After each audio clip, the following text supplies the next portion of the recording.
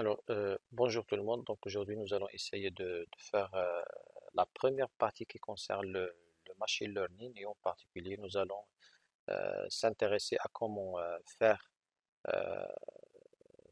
réaliser les, algorithmes suivants, à savoir la régression linéaire et aussi la régression logistique. D'accord? Régression logistique et aussi les réseaux de. Alors pourquoi cet ordre-là? Pour la simple raison, euh, finalement, pour bien entrer, parce que la finalité, c'est, c'est de comprendre comment fonctionnent les réseaux de neurones. Et les réseaux de neurones, c'est un ensemble de neurones artificiels. Et bien sûr, pour les maîtriser, il faut déjà maîtriser euh, comment mettre en œuvre un seul neurone. Donc, notre premier objectif, c'est comment euh, réaliser un seul neurone capable de faire l'apprentissage pour répondre à des besoins spécifiques. Donc ça, c'est l'objectif euh, derrière un seul neurone. Donc bien sûr aussi, pour comprendre comment mettre en place ou bien comment mettre en œuvre un seul neurone, il est nécessaire de comprendre comment euh, fonctionne la régression linéaire, quel est l'algorithme euh, à adapter ou bien à adopter pour faire de l'apprentissage, parce que l'affaire, c'est, de faire de l'apprentissage. Et ensuite, bien sûr, une fois faire la régression linéaire qui est destinée à faire des prédictions, une fois dire des prédictions, je vais, je vais prédire quoi? Donc, on va prédire des valeurs continues avec la régression linéaire. Ah, on va voir par la suite, euh, c'est quoi la, prédiction déjà, prédire quoi? Euh, Mais juste maintenant, je souligne qu'il y a la régression linéaire qui fait la prédiction des valeurs continues. Donc, une fois prévoir les valeurs contenues, je peux utiliser comme algorithme parmi plusieurs, ou bien comme technique parmi plusieurs, je peux utiliser la régression linéaire qui est simple à comprendre. Simple à comprendre, c'est pour cela que nous avons commencé avec cette technique. Donc, une fois comprendre cette technique, c'est-à-dire nous allons comprendre qu'est-ce que c'est l'apprentissage. Parce que machine learning, c'est de l'apprentissage derrière. On va comprendre qu'est-ce qu'on va apprendre et comment apprendre. D'accord? Et une fois apprendre, qu'est-ce que nous allons faire avec ce que nous avons appris? Donc ça, en ce qui concerne la régression linéaire. Une fois comprendre la régression linéaire, bien sûr, la régression logistique, c'est pareil, c'est le même fonctionnement. La simple différence, c'est que pour la régression linéaire, la prédiction euh, attendue, c'est prévoir des valeurs continues. Et dans la régression logistique, la prédiction attendue, c'est une valeur euh, euh, catégoriale. On va voir dans les exemples, on va voir les exemples, bien sûr, pour comprendre. Dans les réseaux de neurones, alors les réseaux de neurones, c'est un ensemble de couches. Chaque couche contient un ensemble de neurones. Et si nous allons comprendre comment fonctionne un neurone, à ce moment-là, nous sommes capables de euh, déjà euh, co- comprendre comment fonctionne un réseau de neurones. Alors, déjà, je vais commencer par des définitions, bien de, si vous voulez dire, un roadmap. Euh, donc, euh, comment, comment apprendre le machine learning. Donc, le machine learning, c'est un sous-domaine, c'est un sous-domaine de l'intelligence artificielle, d'accord? C'est un sous-domaine de l'intelligence artificielle et bien sûr qui contient un ensemble de techniques. Et le deep learning, c'est un sous-domaine de machine learning. Alors déjà, euh, machine learning, il y a trois euh, catégories qui sont les- les plus utilisées, ou bien les types qui sont les, les- plus connus. Donc nous, nous allons e- essayer de, commencer par le premier type qui est la régression. Donc on va présenter c'est quoi la régression, ensuite c'est quoi la classification. Et finalement, peut-être euh, vous aurez l'occasion euh, de voir euh, avec un autre prof ce que c'est le, le clustering. Donc nous, nous allons essayer de faire cette partie-là, des techniques de la régression et des techniques de la classification.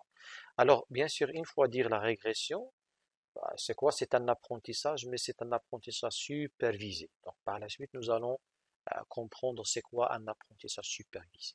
D'accord? On aura des exemples. Et pour faire de la régression, on aura besoin d'un ensemble de techniques, c'est-à-dire euh, méthodes, techniques, algorithmes, d'accord, derrière euh, mathématiques et ainsi de suite. Donc, les techniques qu'il y a, il y a Random Forest, les arbres de décision, la régression linéaire, SVR, Neural Network, c'est notre finalité. Mais ça n'empêche, nous, aujourd'hui, nous allons essayer de voir à la fois euh, la régression linéaire et à partir de la régression linéaire, on peut euh, voir la partie de, de réseau de neurones. Donc ces techniques-là, le résultat de chaque technique, c'est de fixer un modèle. Donc l'objectif, c'est de fixer des modèles. Et un modèle qui est capable de faire des prédictions. Une fois dire prédire, je peux prédire, par exemple, si je vous demande, donnez-moi votre prédiction concernant le, prochain match euh, Manchester City et Real Madrid. Qui va gagner ce match-là Chacun va, d'accord? Chacun va donner une prédiction. Mais euh, ça, c'est une simple prédiction, c'est une, une, une seule prédiction. Donc, euh, si je vais faire une erreur, c'est-à-dire je vais marquer une erreur, il y a une erreur. Mais supposons que je vais, je vais essayer de prédire euh, les résultats de tous les matchs de la semaine prochaine. Certainement, je vais avoir beaucoup de matchs. Parmi, par exemple, soit 100 matchs, je vais faire 60 prédictions qui est correctes et 40 prédictions qui est incorrect. Donc mon modèle, il est efficace à 60%. Supposons, bien sûr, je vais, on en train de faire les choses aléatoires. Supposons chacun de nous qui est en train de faire la prédiction, il, se base sur une démarche, il se base sur des techniques, pas de manière aléatoire. Comme le cas ici, nous allons euh, réaliser un modèle et ce modèle-là, il se base sur des techniques il ne va pas faire les prédictions de manière aléatoire. Donc, comme nous, supposons que nous avons des techniques, nous avons des démarches sur lesquelles nous, avons, nous allons nous baser pour faire ces prédictions-là. Donc, certainement, il, y a des gens qui vont dire, voilà, moi je prévois, euh, il va faire finalement des prédictions euh, qui sont efficaces à 60%, peut-être quelqu'un d'autre efficace à 70%, et ainsi de suite. Donc finalement, on peut avoir une infinité de modèles. Bah, infinité de modèles qui vont faire la prédiction et quel est le meilleur modèle? Ou bien le meilleur acceptable, le, modèle acceptable, c'est celui qui minimise l'erreur. C'est pour cela, une fois nous avons le modèle, il faut l'évaluer. Et pour l'évaluer, d'accord, c'est ça, il faut une fonction objective à minimiser. Et pour l'évaluer, on peut avoir plusieurs techniques, d'accord. Par exemple, pour la régression, pour la régression, on a min, ça c'est min error, c'est la, moyenne. MSE, c'est Mean Squared Error. C'est l'erreur quadratique moyenne. Ici, RMSE, c'est Root Mean Squared Error. C'est l'erreur euh, quadratique euh, moyenne. Et ça, root, c'est la racine carrée. D'accord? La racine carrée de ça. root mean squared, c'est la racine carrée de cette erreur. D'accord? Et finalement, mean absolute error. Donc, ce sont des techniques, euh, ce sont des, plutôt des, des, métriques qu'on peut utiliser pour évaluer la performance de notre modèle. Donc, finalement, la régression, c'est une technique qui permet de créer des modèles. Pour créer un modèle, nous avons plusieurs démarches, ou bien plusieurs techniques, à savoir, il y a les réseaux de neurones, bien linear regression. Et une fois on a le modèle, il faut l'évaluer. C'est-à-dire, à quel point il est efficace. Et pour l'évaluer, il faut le tester avec de vraies données. on va voir bien sûr l'exemple parce que, croyez-moi, donc cette, cette introduction, elle introduit les différents mots-clés, si vous voulez dire. Jusqu'à présent, si vous avez des confusions, donc euh, patience. Donc juste on termine, d'accord, l'introduction. Et certainement, une fois vous allez refaire l'introduction, et l'écouter après enregistrement, certainement vous allez comprendre qu'est-ce que je suis en train de dire maintenant. D'accord? Donc, pour les, types de problèmes, on a vu la régression. La même chose pour la classification, il y a l'objectif c'est de, c'est toujours l'apprentissage supervisé. L'objectif c'est de mettre en place des modèles. Ces modèles-là, ils peuvent être faits avec, être faits avec plusieurs techniques. Parmi ces techniques-là, on retrouve les réseaux de neurones. Donc les réseaux de neurones, ce sont des techniques pour l'apprentissage, d'accord Soit pour la régression, bien pour la classification. Parce que ces deux choses-là sont de l'apprentissage supervisé. La régression, c'est un apprentissage supervisé. La classification, c'est un apprentissage supervisé. Et une fois réalisé à l'aide d'une technique, un modèle, il faut l'évaluer. Pour l'évaluer, on a un ensemble de techniques. D'accord Et pour le clustering, il y a aussi la même chose. Sauf ici, on ne va pas créer de modèle, mais on va peut-être euh, créer autre chose, des groupes ou autre, d'accord Donc, euh, pas forcément des modèles, ici, dans ce cas-là.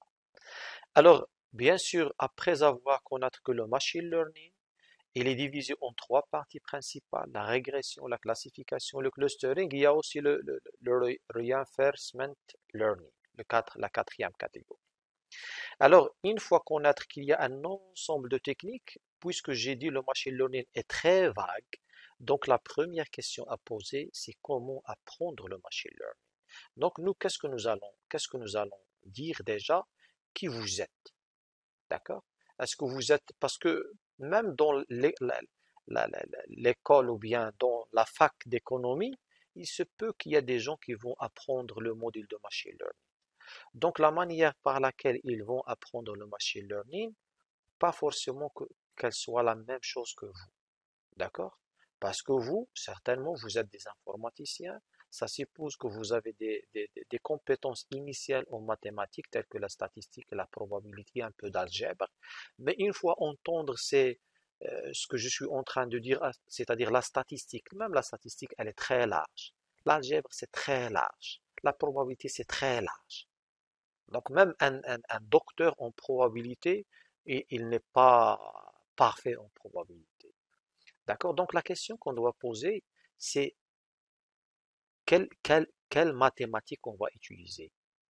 C'est pour cela, c'est pour cela, on va dans un premier temps, d'accord, utiliser pour chaque technique, par exemple, si nous allons commencer avec la régression linéaire, certainement on va euh, commencer avec une bibliothèque, d'accord, qui est Scalar, qui fournit, qui fournit comment, comment euh, fonctionne, comment utiliser la régression linéaire, parce qu'il y a euh, une classe derrière qui contient un ensemble de méthodes et il suffit de connaître la classe, donc euh, euh, l'appeler, initialiser le modèle, faire euh, apprendre le modèle, faire la prédiction et tester.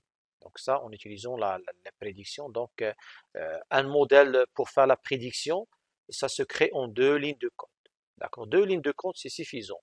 Je crée le modèle dans la première ligne et j'entraîne le modèle dans la deuxième ligne et je, je fais la prédiction dans la troisième vous voyez, donc c'est très simple avec les libraries. Mais nous, euh, c'est pas uniquement ça l'objectif. L'objectif est aussi euh, voir comment euh, comment fonctionne. C'est-à-dire partie, quelle est la partie algorithmique utilisée, en particulier les optimizers, et quelle maths à utiliser. Il faut faire, il faut faire des calculs, il faut connaître un peu d'algèbre linéaire, il faut faire, avoir un peu de statistique et un peu de probabilité. Donc, euh, les gens qui disent voilà, pour apprendre le, machine learning, je vais commencer par maîtriser l'algèbre la, linéaire, statistique, probabilité, à, mon avis, ils ont tort. Donc, ils vont rester là pendant longtemps pour apprendre ces choses-là. Le problème que dans le machine learning, on n'a pas besoin de tout l'algèbre linéaire. On n'a pas besoin de toute la statistique. On n'a pas besoin de toute la probabilité pour commencer le machine learning. D'accord? On a besoin de petites choses. C'est-à-dire, dans le calcul, on a besoin de petites choses. Dans l'algèbre linéaire, la même chose, et ainsi de suite.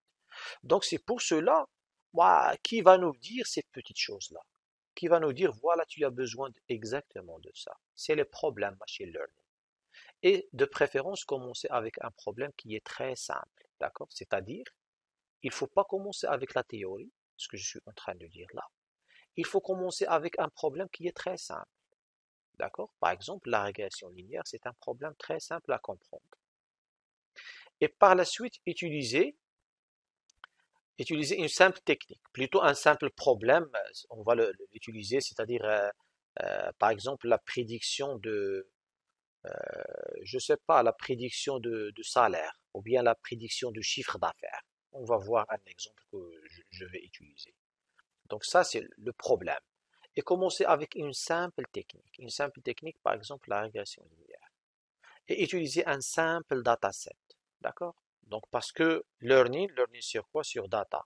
Parce que donc, le dataset ici, la partie data, si nous n'avons pas un dataset, c'est bon, tout le reste, ça ne sert à rien. Si nous n'avons pas de données à utiliser, ah, tu n'as rien à faire avec le machine learning. Donc le dataset, s'il n'y a pas de dataset, il n'y a pas de learning, il n'y a pas d'apprentissage, parce que nous allons faire l'apprentissage sur le data. Donc la première chose à avoir, c'est la partie data. Si nous n'avons pas de data, on ne peut pas faire un projet machine learning. Donc c'est pour cela, pour les datasets, il y a des datasets qui sont simples, il y a des datasets qui sont compliqués. Nous, pour comprendre, bien sûr, nous allons utiliser des datasets qui sont simples. Donc je répète, il ne faut pas commencer avec la théorie, il faut commencer avec un simple problème, par exemple la régression, ou bien prévoir le chiffre d'affaires. Donc ici, il s'agit de, la régression, nous allons utiliser une simple technique, par exemple la régression linéaire, et bien sûr utiliser un simple dataset. Voilà, donc ça c'est le roadmap. Donc ici, bien sûr, comme j'avais dit, les éléments et les étapes.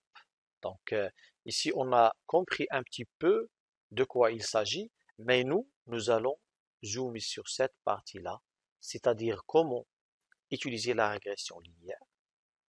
Bien sûr, pour réaliser un modèle, c'est ça l'objectif. Donc, pour réaliser un modèle, il faut euh, bien sûr passer par l'étape d'apprentissage. Et pour faire de l'apprentissage, il faut utiliser un dataset. Et bien sûr, voilà ces, ces étapes-là. Donc, on a deux choses. Il faut avoir la partie data et par la suite, la partie modélisation, ou bien trouver un modèle. Le modèle, on le trouve à partir des data.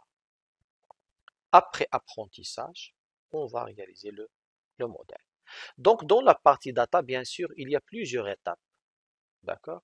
Il y a la préparation de données, il y a la visualisation de données, il y a, c'est-à-dire split data, c'est-à-dire euh, la division en deux parties, une partie d'entraînement, une partie de test pour évaluer la, performance du modèle. Donc déjà, euh, toujours, une fois pensé modèle, c'est un modèle qui va faire les prédictions. Et comment tester? Est-ce qu'il va faire les bonnes prédictions ou pas? Il faut le tester avec des données réelles qui existent réellement. Par exemple, je ne sais pas, les, résultats des matchs. Pour l'utiliser sur pour la semaine prochaine, il faut déjà le tester, euh, par exemple, sur cette semaine-là. Par exemple, je vais faire la, chose suivante. Je souhaite prévoir les résultats des matchs de la semaine prochaine. C'est-à-dire la semaine prochaine, elle est ici. On ne la connaît pas. Notre modèle, je dois le réaliser, un modèle M, que je dois établir à l'aide d'une technique X. Donc, ce modèle-là, pour le réaliser, il faut qu'il passe par la phase d'apprentissage. Donc, je vais entraîner le modèle. Entraîner sur une partie data jusqu'à, par exemple, la semaine dernière, ou bien jusqu'à le mois dernier. D'accord? Ou bien, euh, je le teste sur euh, depuis 2010, d'accord? Depuis 2010 pour l'apprentissage, 2010, jusqu'à 2018. D'accord Jusqu'à 2018. De data, de résultats de match. Donc, tous les résultats, je vais les injecter, ta, ta, ta, ta, ta, les équipes et ainsi de suite. De 2010, de 2018, donc j'ai 8 ans de données. Et à partir de 2018 jusqu'à 2023, je vais jusqu'à maintenant, je vais l'utiliser pour tester. D'accord? Pour tester est-ce que mon modèle M, il fait les bonnes prédictions. À quel point il va avoir raison et à quel point il va avoir tort. Donc, de 2010 jusqu'à 2018, j'entraîne mon modèle pour le fixer, pour le réaliser. Et par la suite, je le teste. Parce qu'il a appris, d'accord? Je le teste. Est-ce qu'il a appris le bon résultat Une fois, le, est-ce qu'il a appris finalement à faire les bonnes prédictions? Une fois je suis satisfait des résultats de test, je peux dire je vais l'utiliser pour prédire les matchs qui vont venir c'est l'avenir que je ne connais pas. Donc, je peux utiliser ce modèle-là pour prévoir. La même chose pour les prédictions météorologiques et ainsi de suite. Donc, ça, c'est split data. Donc, ça, split, j'ai utilisé cette partie pour l'apprentissage et cette partie pour le test. Et ça, c'est le déploiement. Mon modèle est déployé pour l'utiliser en production. Donc, maintenant, pour créer le modèle, il y a des étapes. Il faut initialiser il faut l'entraîner, il faut peut-être avoir son détail. Et chaque technique, euh, bien sûr, elle a son propre détail. Et comment l'évaluer et comment l'utiliser.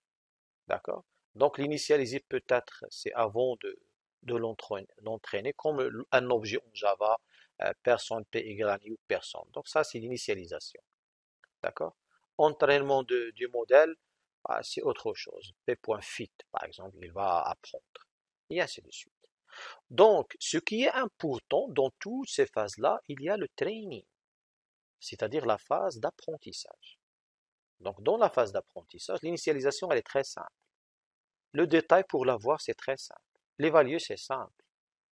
L'utiliser, c'est aussi très simple. Mais pour la phase d'entraînement, c'est la phase la plus délicate. C'est-à-dire à ce moment-là, on se pose, la, se pose la question comment on va entraîner notre modèle? Donc, pour l'entraîner, il faut prédire, calculer l'erreur, faire la mise à jour des paramètres, ou bien euh, mettre à jour le paramètre. Donc, ce sont des phases que nous allons adopter surtout pour la régression linéaire. Donc, euh, euh, on laisse le modèle en même temps parce qu'il s'entraîne comme un bébé que vous êtes en train de lui enseigner beaucoup de choses, ou bien lui faire apprendre beaucoup de choses. C'est-à-dire, vous allez le, laisser marcher et ainsi de suite. Et à chaque fois, il va faire une erreur. Qu'est-ce que vous allez faire? Vous allez le guider. Nous, nous avons notre modèle. On va le laisser faire des prédictions. Il va prédire, par exemple, pour euh, une, à partir des données, il va prédire, euh, il va répondre à une question, pour ne pas être euh, très précis.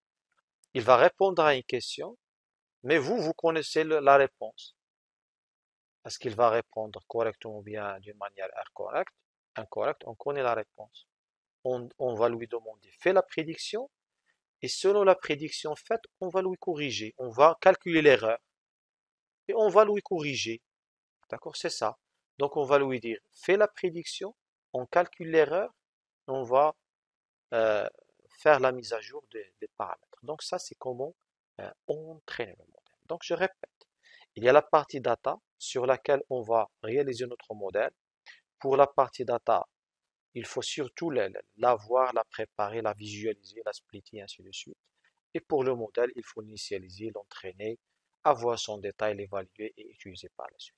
Dans la phase d'entraînement, c'est la phase la plus importante, c'est la plus délicate. C'est faire des prédictions, calculer l'erreur, faire la mise à jour. Donc, pour nous, euh, qui nous intéresse, c'est déjà la, partie réseau de neurones. D'accord? Donc, c'est quoi un réseau de neurones? Le réseau de neurones, normalement, c'est une inspiration de l'intelligence humaine, ou bien animale en général. Donc, un humain, il a des billions de neurones. Par exemple, ici, c'est le cerveau d'un humain. À l'intérieur, il y a des neurones qui sont interconnectés entre eux. Donc, bien sûr, interconnectés pour répondre à un objectif global. Par exemple, si je vous montre, si je vous montre par exemple, une image, euh, en tant qu'humain, vous allez dire euh, il s'agit d'un 7. Mais peut-être il y a des gens parmi vous qui disent voilà, il peut présenter 1. Pourquoi, pourquoi 7 et pas 1 Surtout s'il s'agit par exemple comme ça. Ça, ce n'est pas trop visible. Il y a des gens qui disent 7, il y a des gens qui disent c'est 1. Mais certainement, on peut dire à 90% c'est 7. 10% uniquement 1. Donc je suis en train de travailler, même nous les humains, on travaille avec des probabilités. D'accord? Donc c'est ça finalement. Donc ça, ce sont des probabilités qu'on utilise. Donc finalement, les neurones, c'est les neurones qui vont, on a l'entrée, on voit l'image, on a un traitement au cerveau qui est colossal, et par la suite, on, arrive à la décision, c'est-à-dire reconnaître l'image. Donc, les gens de l'intelligence artificielle, ils se sont inspirés de cette technique-là pour euh, simuler cette intelligence humaine vers une intelligence artificielle, euh, c'est-à-dire donner les mêmes, la même architecture, la même philosophie pour, euh, pour, pour la machine, pour qu'elle pour qu'elle soit capable de faire la reconnaissance d'objets. Finalement, la même chose, la machine doit prévoir avec de probabilités qu'il s'agit d'un set et pas d'un alors, les neurones sont des cellules nerveuses interconnectées dans le cerveau humain qui participent au traitement et la transmission de signaux chimiques et électriques. Donc ça, c'est la réalité de l'humain. On va essayer de voir par la suite la même chose par rapport, par rapport à la machine. Les dendrites, ce sont des, des branches. Il y a les in, qui reçoit la, la partie input, si vous voulez dire des informations. Le noyau cellulaire au soma, ah, on va voir ici qu'est-ce que ça veut dire. Il traite des informations reçues de données. Donc, comme si, côté euh, algorithmique et informatique, on va euh, peut-être imaginer ça comme, euh, comme fonction. D'accord? Comme fonction ayant des entrées, elle va faire un traitement et renvoyer un résultat. D'accord? C'est ça exactement. Dans la réalité de, l'humain, qu'est-ce que, fait ce, ce noyau cellulaire mais nous, on va essayer de faire la même chose pour euh, la machine. Donc Axon est un câble utilisé pour les neurones pour envoyer des informations out. C'est-à-dire le return, si vous voulez dire, c'est ça. Après traitement, je retourne un résultat. Le synapse est la connexion entre un axone et d'autres d'entrée. C'est-à-dire, euh, dans la programmation, par exemple, orientée objet, euh, un objet peut recevoir le résultat retourné par une fonction appartenant à un autre objet. Donc finalement, c'est ça. Donc nous, je suppose que nous avons le bagage algorithmique, euh, programmation, mathématique, pour pouvoir faire ces petites choses-là, mais de côté informatique. Donc ici, c'est exactement, j'ai mis une image 7 euh, codée sur 28 par 28, c'est-à-dire il s'agit d'une matrice tout simplement ayant des valeurs et par la suite l'image, ou bien l'humain, il peut dire qu'il s'agit d'un set. Donc nous, on va dire la même chose pour la machine. Donc, au lieu de, ce cerveau-là, on va imaginer une architecture qui est neural network. Elle, a en entrée 7 et elle doit prévoir 7 avec une telle probabilité. Donc ça, c'est le réseau de neurones artificiel. Mais jusqu'à présent, c'est marqué comme boîte noire. Ici, jusqu'à présent, c'est une boîte noire. Donc, comment le, rendre euh, sous forme de, boîte blanche D'accord? C'est-à-dire, euh, comment euh, faire simuler ou bien s'inspirer de cette, de cette partie-là, qui est le neurone ou bien le cerveau humain, pour le mettre sur ça. Donc, on peut imaginer finalement ça. D'accord? Il y a des neurones. Et l'image qui est 28 fois 28, ce n'est qu'une image ayant 784 valeurs. Donc c'est un vecteur. D'accord? C'est un vecteur ayant 784 valeurs. Et bien sûr, cette valeur-là, elle doit être émise vers, ça c'est la première couche. Supposons que nous avons un réseau de neurones ayant combien de couches? Ici, il y a quatre, il y a normalement juste trois couches, parce que ça, c'est la prédiction, ça, c'est la sortie. Ou bien on peut la considérer en tant que couche de sortie. Oui, on peut la considérer en tant que couche de sortie ayant exactement 10 neurones. Alors on a une, ce sont trois couches, et normalement ce sont les trois couches qui font partie de, de notre neurones. Parce que cette couche-là, c'est une couche particulière qu'on l'appelle couche d'entrée. Donc notre réseau de neurones se compose de quoi? Une couche d'entrée, une couche cachée, une deuxième couche cachée et une couche de sortie. D'accord? La couche d'entrée, ne sont pas de réels neurones. Ils contiennent uniquement des valeurs. Mais là, les couches internes et la, couche de sortie contiennent des, neurones réels. D'accord? Donc, une fois ce set-là, il sera Ici, ça c'est notre modèle. Notre, notre modèle représenté sous forme de réseau de neurones. Ici, le modèle, il va éjecter, il va émettre des probabilités ici. Peut-être ici, il va mettre 0,001 comme probabilité, 0,002 comme probabilité. Ou ici, il va mettre comme probabilité un peu grand, d'accord? 0,3, d'accord? Et ici, il peut dire 0,001, d'accord? 0,001 parce que bah, c'est écrit comme ça. Certainement, c'est pas un zéro. D'accord? Donc, c'est une valeur très basse. Au contraire de 1, qui est peut-être euh, une probabilité assez grande. La même chose pour 2 et ainsi de suite. Mais pour le test, pour 7, on peut trouver qu'il s'agit d'une probabilité, par exemple, 0, euh, d'accord, 87. Donc, en comparant toutes les probabilités vers la fin, bien sûr, après traitement, on va dire qu'il s'agit d'un 7. Donc, la sortie sera un set. Donc ça, c'est le principe de fonctionnement d'un réseau de neurones profond. Donc nous, jusqu'à présent, nous n'avons pas bien sûr toutes les capacités nécessaires pour le mettre en œuvre.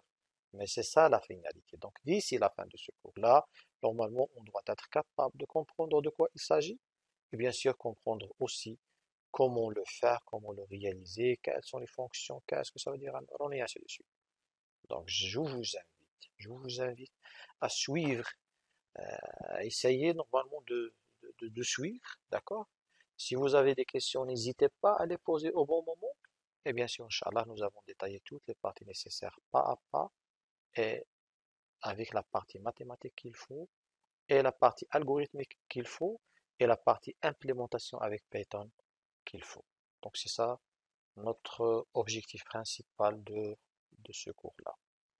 Alors, ça c'est l'objectif. Donc euh, j'ai dit c'est quoi les réseaux de neurones, mais nous, euh, dans un premier temps, j'ai dit euh, au début il faut commencer par un simple problème.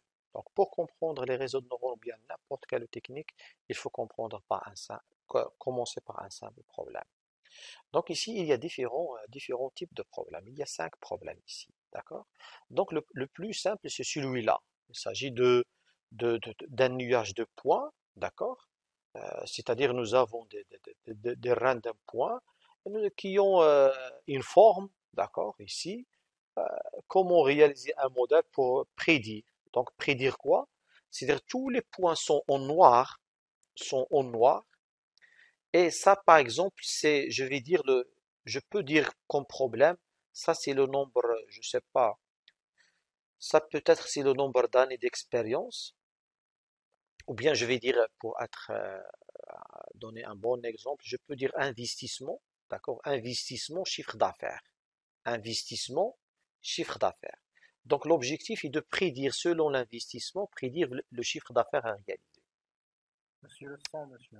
Le son, oui, maintenant c'est euh, clair. D'accord. On peut, monsieur, euh, Oui. euh, adopter euh, prix, euh, nombre de quantités vendues. Euh, non. Hmm, Non. Donc, c'est-à-dire une question le prévision, les prévisions, c'est-à-dire quelqu'un, il peut dire, si je vais investir tel chiffre d'affaires, je vais investir tel montant comment, combien je peux avoir comme chiffre d'affaires?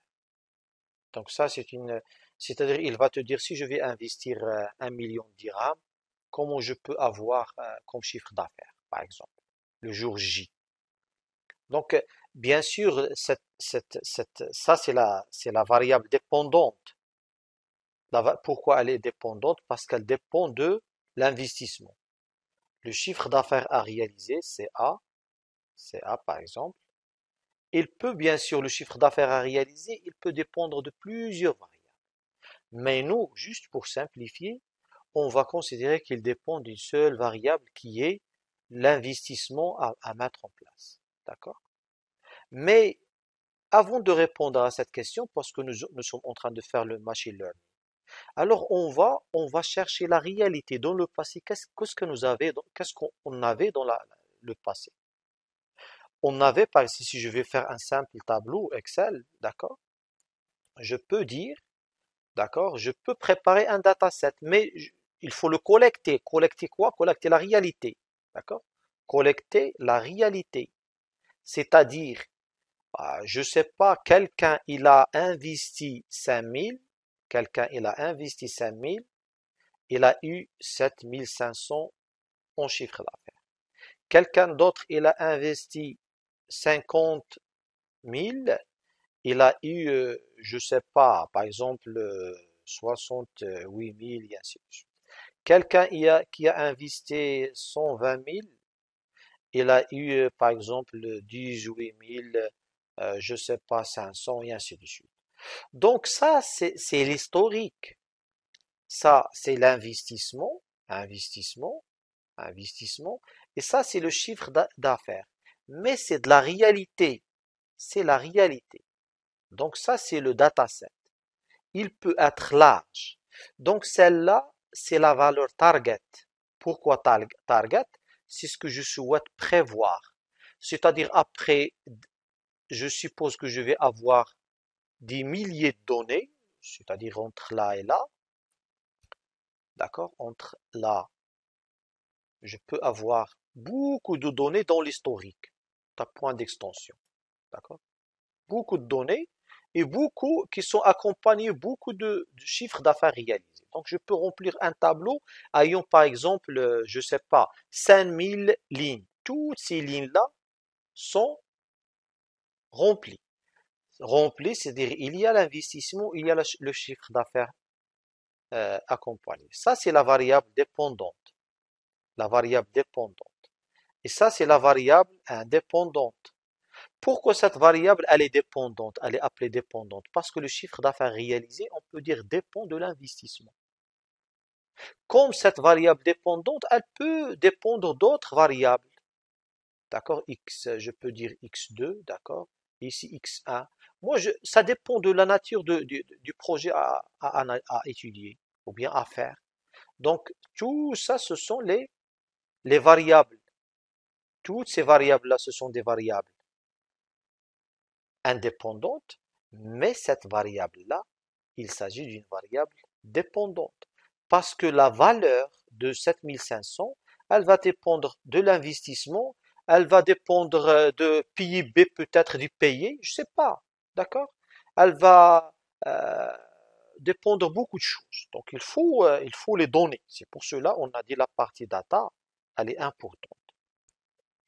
Alors la variable dépendante, on l'appelle on l'a- on l'appelle variable indé- euh, dépendante. On peut l'appeler aussi target. Target. On peut l'appeler aussi output, la sortie. D'accord? Output. Output. Et toutes ces choses-là, toutes ces choses-là, on les appelle quoi? Features. Features. D'accord? C'est-à-dire la partie features, c'est, c'est, ce sont elles qui vont décider la valeur de l'output. D'accord? Donc tout ça, c'est l'historique. Toute cette partie-là, c'est l'historique. Maintenant, on va se limiter uniquement à cette, une seule, une seule feature, la l'investissement qu'on connaît pour le, le moment. Supposons votre, je sais pas, quelqu'un qui peut, qui, cherche, qui cherche à répondre à sa question, il va poser la question suivante. Si je vais euh, investir euh, trois, euh, voilà, ce chiffre-là. Ce chiffre-là, on ne l'a jamais eu, d'accord, dans la partie historique. Mais il va te poser la question, combien, combien je vais prévoir? Quelle est la valeur de chiffre d'affaires que je peux avoir? Donc, pour répondre à sa question, vous, vous allez utiliser l'historique parce que vous connaissez de quoi il s'agit, l'historique, d'accord? Par exemple, certainement, il y a des, spécialistes dans l'analyse des données, l'analyse du passé, par exemple, pour le, je reviens au match euh, Real à Manchester City. Il y a des gens qui disent, voilà, c'est à 80% le, le Manchester, par exemple, City qui va gagner. Ou bien à tel pourcentage. C'est-à-dire, ils donnent des prévisions, certainement. Mais ces prévisions-là, ils se basent sur l'analyse des données. Et Liverpool, par exemple, pourquoi il a fait ces dernières années euh, des efforts considérables et il a des résultats remarquables. Pourquoi? Parce qu'il utilisait l'intelligence artificielle pour améliorer d'accord, ces techniques de jeu. D'accord? Mais nous, ça, c'est très difficile. D'accord? Mais nous, on est en train de s'attaquer à un problème très simple. Si je vous donne ce investissement, combien je vais avoir comme chiffre d'affaires? En utilisant bien sûr le passé pour réaliser le modèle et à partir du modèle, bien sûr, je vais faire la prédiction de cette valeur.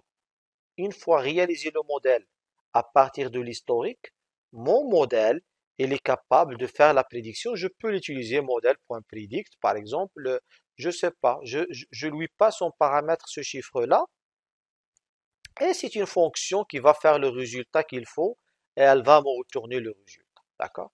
Il va me retourner une valeur. Supposons qu'il va me retourner, par exemple, je sais pas, ça, et ainsi de suite. D'accord? Ah, Est-ce qu'il est correct? Est-ce qu'il est faux? On va, avant ça, on doit le tester. Le tester, le tester à l'aide de quoi? Le tester, bien sûr, à l'aide d'une partie de l'historique qu'on connaissait, la target et les features. Par exemple, on va le tester sur cette partie-là qui peut avoir, avoir, par exemple, 30% des datasets. D'accord? 30% des datasets qui est le vert, on va l'utiliser pour tester notre modèle. S'il donne dans la phase de test des résultats satisfaisants, je peux l'utiliser pour faire la prédiction réelle. Donc je reviens ici. D'accord? C'est pour cela ici j'ai le chiffre d'affaires, l'investissement. Donc notre modèle, ça c'est le nuage de points. Regardez, ici j'ai investi par exemple 1, j'ai obtenu 0,5. J'ai investi 8, j'ai obtenu, euh, je sais pas, 25. D'accord? Donc, il s'agit d'un nuage de points. Donc, la variable, la variable indépendante, la variable dépendante, ou bien la target, ou bien l'output. Alors, mon modèle, c'est quoi? Mon modèle, c'est cette ligne droite. C'est cette droite en bleu. Regardez, si elle est en train de traverser tout le nuage de points. Donc, comment réaliser un capable, ou bien tracer une droite capable de traverser tout le nuage de points? Cette, cette ligne-là, elle me permet d'avoir la prédiction. C'est-à-dire, n'importe quelle nouvelle valeur, supposons je vais l'étendre ici, n'importe quelle nouvelle valeur que tu vas euh, donner ici, par exemple 18, alors si je vais investir 18, 18 combien je vais avoir? Tu vas dire tout simplement dette, d'accord? Et c'est ça le chiffre d'affaires à réaliser. Ça va se retrouver ici. D'accord? Donc nous sommes en train de prédire. Donc prédire, il faut réaliser la droite. Et la droite, elle constitue mon modèle. Donc jusqu'à présent, ça c'est un problème qui est très simple. On va le traiter avec la technique la régression linéaire et par la suite nous allons le traiter avec un réseau de neurones qui est composé d'un seul neurone. Regardez ici. D'accord? Donc, une fois traité une seule variable indépendante, c'est-à-dire un seul feature qui est ça, par la suite, on va améliorer notre technique pour qu'elle soit capable de tenir en compte plusieurs variables indépendantes. Et un cas réel, un dataset qui se trouve réellement, c'est un dataset qui s'appelle euh, euh attendez, je l'ai noté ici, euh, Advertising, voilà, Advertising Programme. Advertising, donc Kaggle, Kaggle, Kaggle Advertising, Adver, Advertising, voilà, Dataset. Parce que Kaggle, Kaggle, c'est un site web dans lequel il y a plusieurs datasets. D'accord? Il y a plusieurs datasets qui sont euh, que vous pouvez les utiliser pour réaliser vos projets, pour, déjà apprendre le machine learning. Donc, il y a plusieurs natures de, il y a énormément, énormément de datasets. Par exemple, ici, j'ai cherché l'advertising, euh, donc le dataset advertising. C'est un fichier CSV qui contient les données. Donc, qu'est-ce que nous allons faire? Nous allons le télécharger. D'accord? Nous allons le télécharger et essayer de voir euh, par exemple, tout à l'heure, le matin, j'avais un autre cours avec les systèmes d'information et intelligence artificielle sur les arbres à décision. J'avais téléchargé Diabète. Avec vous, euh, je, vais, euh, je vais télécharger ce dataset-là que nous pouvons l'utiliser. Donc, BDCC, d'accord? Alors, je vais mettre, par exemple, Advertising. Advertising, c'est quoi? Tout simplement, c'est un dataset qui contient les données, qui contient le passé, l'historique. D'accord? Cet historique-là, il se trouve dans un fichier CSV qui vous a été fourni, donc il contient les données. Donc la première chose, il faut être capable de connaître quel est, le contenu de mon fichier. Qu'est-ce que ça veut dire ce fichier-là? Il faut savoir le lire. Donc le lire, mais euh, euh, en se basant sur, sur, sur machine learning. Donc permettez-moi juste trois secondes de brancher ma machine. Alors voilà, j'étais en train de dire, euh, la première compétence qu'il faut avoir, il faut déjà connaître qu'il vous faut un dataset pour faire la, réalisation d'un modèle basé sur machine learning, pour faire la prédiction. La deuxième chose, c'est être capable d'interpréter le fichier. C'est quoi ce fichier-là? Ce sont, il contient combien de variables? Il contient quatre colonnes, bien quatre variables. Trois variables sont destinées pour les features, et la dernière variable qui est sales, c'est la variable target. Et en général, euh, en général, pas toujours, bien sûr. En général, les fichiers euh, d'apprentissage sont euh, préparés de manière à ce que, s'il s'agit d'un apprentissage bien sûr supervisé, elle est préparée de manière à ce que la target c'est la dernière, c'est la dernière colonne. Donc ici, il y a trois features et la target qui est sales. Donc voilà, donc ça c'est notre variable advertising. Donc euh, bien sûr, si vous allez entrer ici dans Kaggle, il y a des, tutoriaux. Voilà, il déjà, il, euh, il faut avoir bien sûr la compétence euh, qui pour, pour analyser, analyser votre dataset. Cette partie-là, normalement, on l'appelle data analysis. D'accord? On l'appelle data analysis.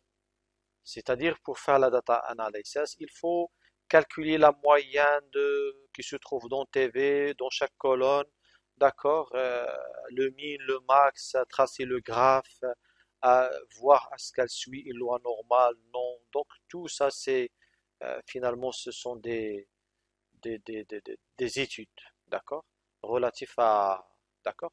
Et vous voyez ici, euh, il y a de la régression d'accord? Voilà, Sales Predict Simple Linear Regression. Voilà, ici vous pouvez trouver un code Python, d'accord, dans lequel il y a plusieurs choses, d'accord? Par exemple, c'est quoi? Euh, Ça, c'est le fichier notebook, notebook, ce que nous allons créer nous-mêmes, le fichier Python, mais nous allons le créer bien sûr à notre manière ça ici, il commence par importer. Bien sûr, d'ici la fin du cours, vous serez capable de comprendre ce que ça veut dire ça. On va l'utiliser à part. D'accord Donc, il commence par importer les bibliothèques, à lire le fichier, à afficher son nom-tête. D'accord Donc, voilà. Donc, ici, il, euh, le format d'accord, de notre, de notre euh, ADA et ainsi de suite. Donc, si vous voulez qu'on adopte la même chose, on peut l'adopter. D'accord c'est ici, vous êtes, il est en train de voir euh, euh, la variance, les, les, les, les graphes au moustache pour, euh, pour connaître, c'est-à-dire newspaper, il varie à partir de, presque 10 jusqu'à 45. D'accord? Radio non, de 10 jusqu'à ça. Pour, pour analyser les données. D'accord? Mais nous, nous n'allons pas faire ça, data analysis, mais plutôt faire le, machine learning. D'accord? Donc, mais ça n'empêche cette partie aussi est importante, mais elle fait partie d'un autre cours qui est l'analyse de. Moi aussi, j'enseigne cette ce module-là, mais ça, ce sont des autres, choses. Alors, euh, voilà, ça c'est pour dessiner, euh, d'accord, euh, finalement, et voilà, maintenant ce qui nous intéresse, c'est la construction de modèles. D'accord? Il s'agit de la régression linéaire, lui, il est en train de parler mathématiquement, donc c'est quoi un modèle? C'est une régression linéaire capable de faire ceci, cela. mon objectif finalement, c'est vers la fin de d'ici deux, trois séances, à mon avis, vous serez capable de comprendre de quoi il s'agit ici. Pour les gens qui n'ont jamais vu ces choses-là. D'accord? Donc trois, quatre séances, nous serons capables de, comprendre, de, déchiffrer. Voilà le modèle que j'avais tracé. Moi, c'est presque la même chose. D'accord? Donc lui, il a tracé le, le modèle. Donc il est capable de faire la prédiction. Vous voyez? L'évaluation. D'accord? L'évaluation de quoi? De le modèle et ainsi de suite. Ta, ta, ta, et ainsi de suite. Donc, nous, nous allons faire les choses à notre manière. Donc, je reviens ça. Le premier problème, euh, pour euh, bien comprendre les, les réseaux de neurones, donc le premier problème, on va essayer de faire la régression linéaire. Et une fois faire la régression linéaire, on va faire un réseau de neurones qui se compose d'un seul neurone qui se base sur les mêmes, sur les mêmes techniques, soit algorithmiques, soit mathématiques. D'accord? C'est-à-dire, mais juste l'architecture qui change. Donc c'est simple de passer par d'ici, de, la régression linéaire qui est très simple à comprendre, vers un réseau de neurones composé d'un seul neurone. Donc ce passage-là, elle est simple. Ensuite, de ce passage, c'est-à-dire la régression linéaire simple vers la régression linéaire multiple, donc c'est-à-dire multivariate linear regression, c'est-à-dire il y a plusieurs variables ici. La partie features, elle contient plus qu'une variable. On a ici plusieurs variables et un seul output, c'est-à-dire la variable target. C'est-à-dire la variable dépendante bien target, elle dépend de cette variable, de cette variable, de cette variable. C'est-à-dire, je peux dire que le chiffre d'affaires obtenu dépend de l'investissement en publicité, en TV et en radio et en ça. D'accord? Donc ce chiffre d'affaires dépend de la manière d'investissement. D'accord? Regardez ici. C'est pour cela qu'on l'appelle aussi variable dépendante.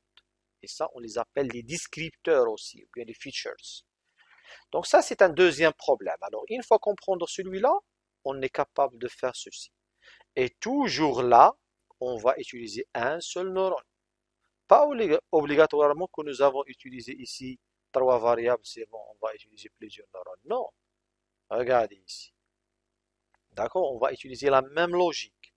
Sauf ici, on a une seule variable, donc c'est pas la peine d'avoir x2, x3.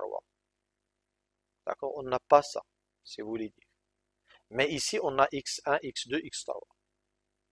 D'accord? Mais toujours un même neurone. Avec une fonction, dite fonction d'activation, on va voir par la suite c'est quoi exactement. Alors, il s'agit ici de la régression. Pourquoi? Parce que je prévois une valeur continue. La valeur, la prédiction d'une valeur continue, c'est-à-dire je, je, dois prévoir une valeur numérique continue.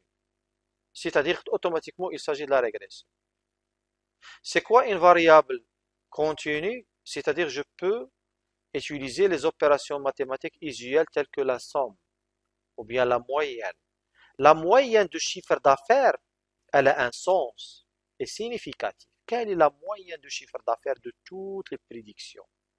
Quelle est la moyenne du chiffre d'affaires pour tout l'historique? Donc la moyenne, le chiffre obtenu, il est significatif. Au contraire, ici, on va voir que la moyenne n'est pas significative. Donc ici, il s'agit de la régression, ici, il s'agit de la classification. Dans les deux problèmes, il y a présence de target. Toujours, il y a la target. La target ici, c'est quoi? Est-ce que bleu ou bien rouge? C'est-à-dire, si un nouveau point, regardez, un nouveau point qui est noir là, ce point-là, d'accord, que j'ai tracé, il est petit, c'est vrai, mais la question que je vais poser à mon, à mon algorithme ou bien à mon modèle, si mon point, il a les coordonnées ça et ça, c'est quoi sa nature? Est-ce qu'il peut être rouge ou bien vert? Ah, ça dépend du modèle. Et le modèle à trouver, il doit être capable de séparer les deux classes. C'est-à-dire, voilà une droite qui sépare les deux classes.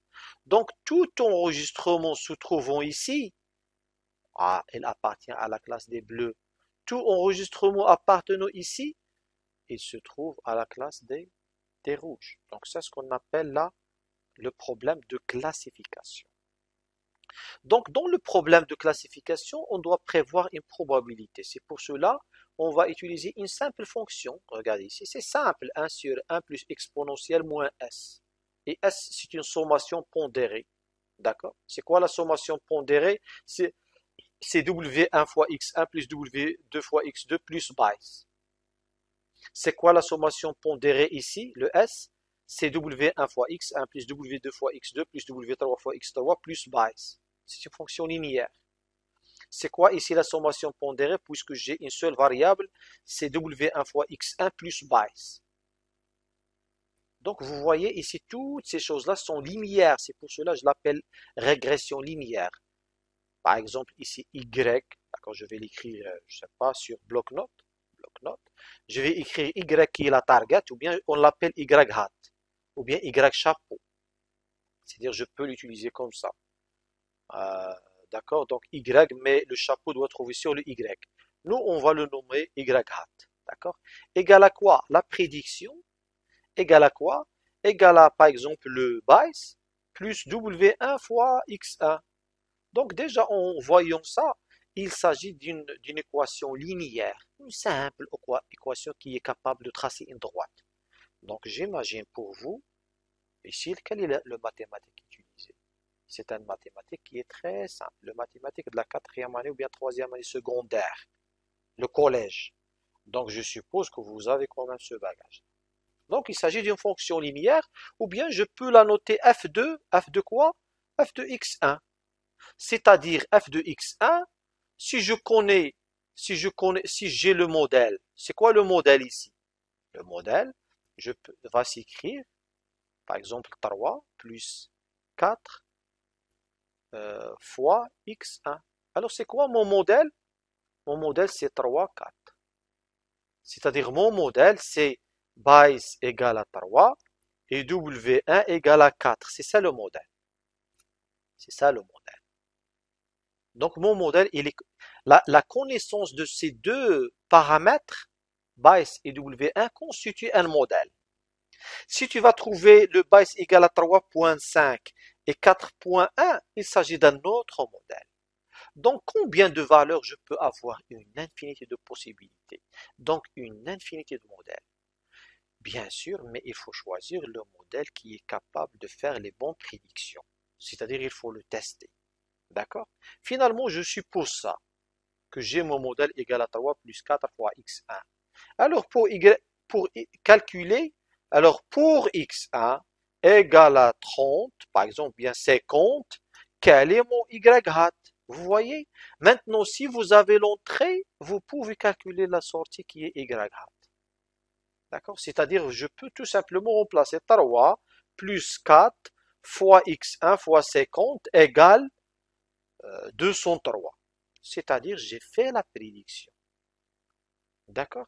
Donc finalement, c'est un peu ça. Ça, c'est pour la régression linéaire. Pourquoi elle est dite linéaire? Parce que c'est une combinaison linéaire en fonction des entrées.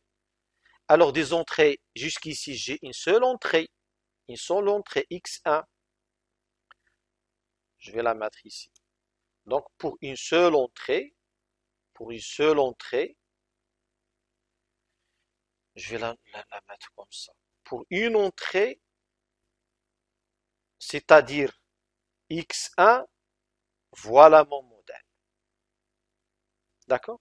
Alors pour, maintenant pour pour deux entrées. Pour deux entrées, qu'est-ce que je vais dire? Deux variables dépendantes x1, x2. indépendante x1, x2. Je dois ajouter plus un w2 fois x2. Pour trois entrées. D'accord? Pour trois entrées. Qu'est-ce que je vais avoir? X1, x2, x3. Donc plus w3 fois x3. Pour n entrées. D'accord? Bien pour, je sais pas, pour n entrée, x1, x3, ta, ta, ta, ta, jusqu'à xn. Voilà ici, plus ta, ta, ta, ta, plus wn fois xn. Et ça, c'est une combinaison linéaire des entrées. Base, toujours le base, plus wn fois xn. C'est pour cela que nous avons remarqué ici, elle est où là? Je vis certainement une... Ta. Attendez, attendez elle était là.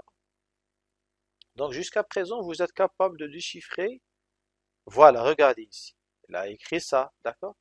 Mais c'est quoi avant ça? J'avais vu une formule en général. Voilà, c'est ça. Regardez, lui, il a, mis C. Moi, j'ai mis BICE.